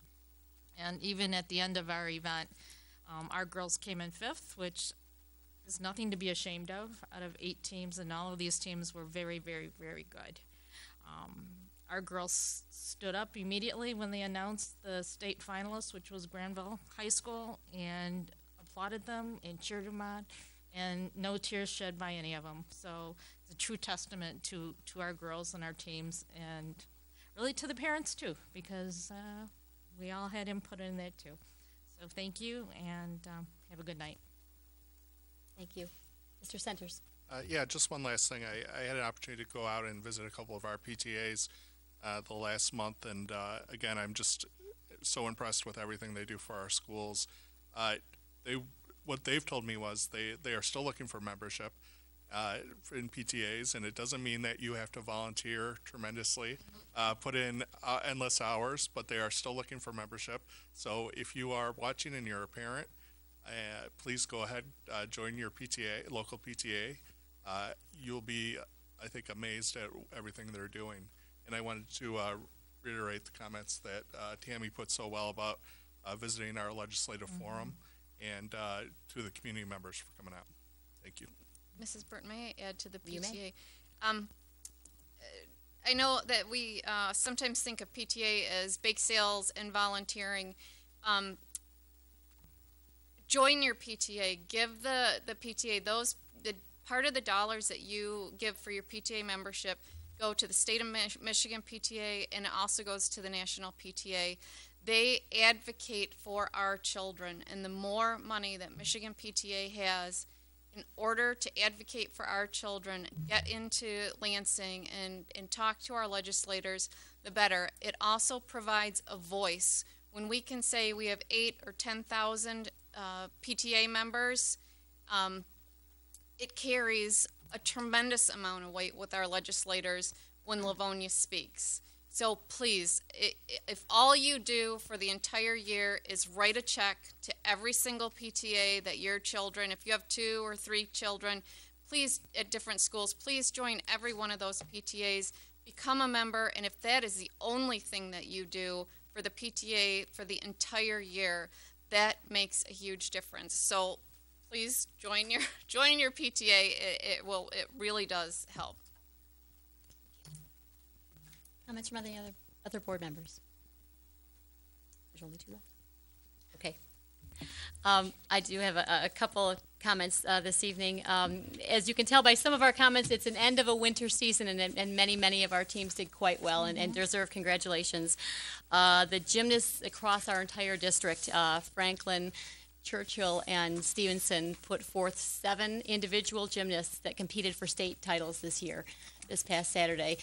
Um, let me see here. One, two, Three, I believe, of those seven placed in the top 10 in the state of Michigan, which they are to be commended. Something even more amazing was brought to my attention by one of the coaches. The G- average GPA on the gymnastic team was 3.7. That, I think, is more impressive than the titles on the podium. The girls may disagree with me on that, but, but I'm looking more toward the academics on it. Um, it's, it's amazing, and, and these girls are not alone in that accomplishment. We have so many really good, strong student athletes, and I'm proud in Livonia that we do refer to them as our student athletes and not just our athletes. Um, if you have par- uh, have children in this school district, or even perhaps grandchildren, you may be interested in a seminar that's coming up that is district wide on March on Tuesday, March 24th at 6:30 p.m. It's being held at Stevenson High School. It is uh, being held by uh, administrators, principals, uh, assistant principals, uh, elementary assistance providers, high school counselors, social workers, and athletic administrators, all within the various buildings in our district. They're going to have panels of experts uh, broken into four different areas so you can attend the area that specifically suits your child's needs. There will be a panel for lower elementary, for upper elementary, for middle school, and for high school. And they will be covering such topics as self esteem with your children, safe use of technology, attention and impulse control, being a better student, handling peer pressure, substance abuse, setting limits and giving consequences after high school plans, athletics and fitness, and regaining control as a parent. If any of or uh, if any of these topics uh, interest you, go to the Stevenson High School website. There is a link there that you can register. It is a free resource for any of the parents uh, in in Livonia's public school school district. So, I would encourage you to take advantage of of resources like that. The folks who are running this, if you take a look at the list, have some some incredible credentials behind their names, and we know them personally, and they are phenomenal uh, assets to our school district. So go ahead and take advantage of that if, if you so choose. Um, I did have a parent who came up to me this week and was thrilled that her son is able to take advantage of one of the very recent policy changes that the board made. And this, this uh, individual wanted room for a stats class. In previous years, he didn't have room for a stats class because of hi- other high school graduation requirements. Due to the change in Michigan state law and the prompt change by this board in changing our policy, he now has room to take that class, which is very important to him uh, as a college as college bound class. Uh, and she wanted me to pass on that appreciation to the board members for passing that policy and getting that changed so quickly to benefit our students. Um, we've had a whole lot of thanks to a whole lot of people tonight, and just like to, to thank again our, our employees in the district. There are 2,000 of them, and even more than that, uh, volunteers in the district uh, that make Livonia Public Schools the really phenomenal district that it is to be. Thank you very much, and have a nice evening. We are adjourned.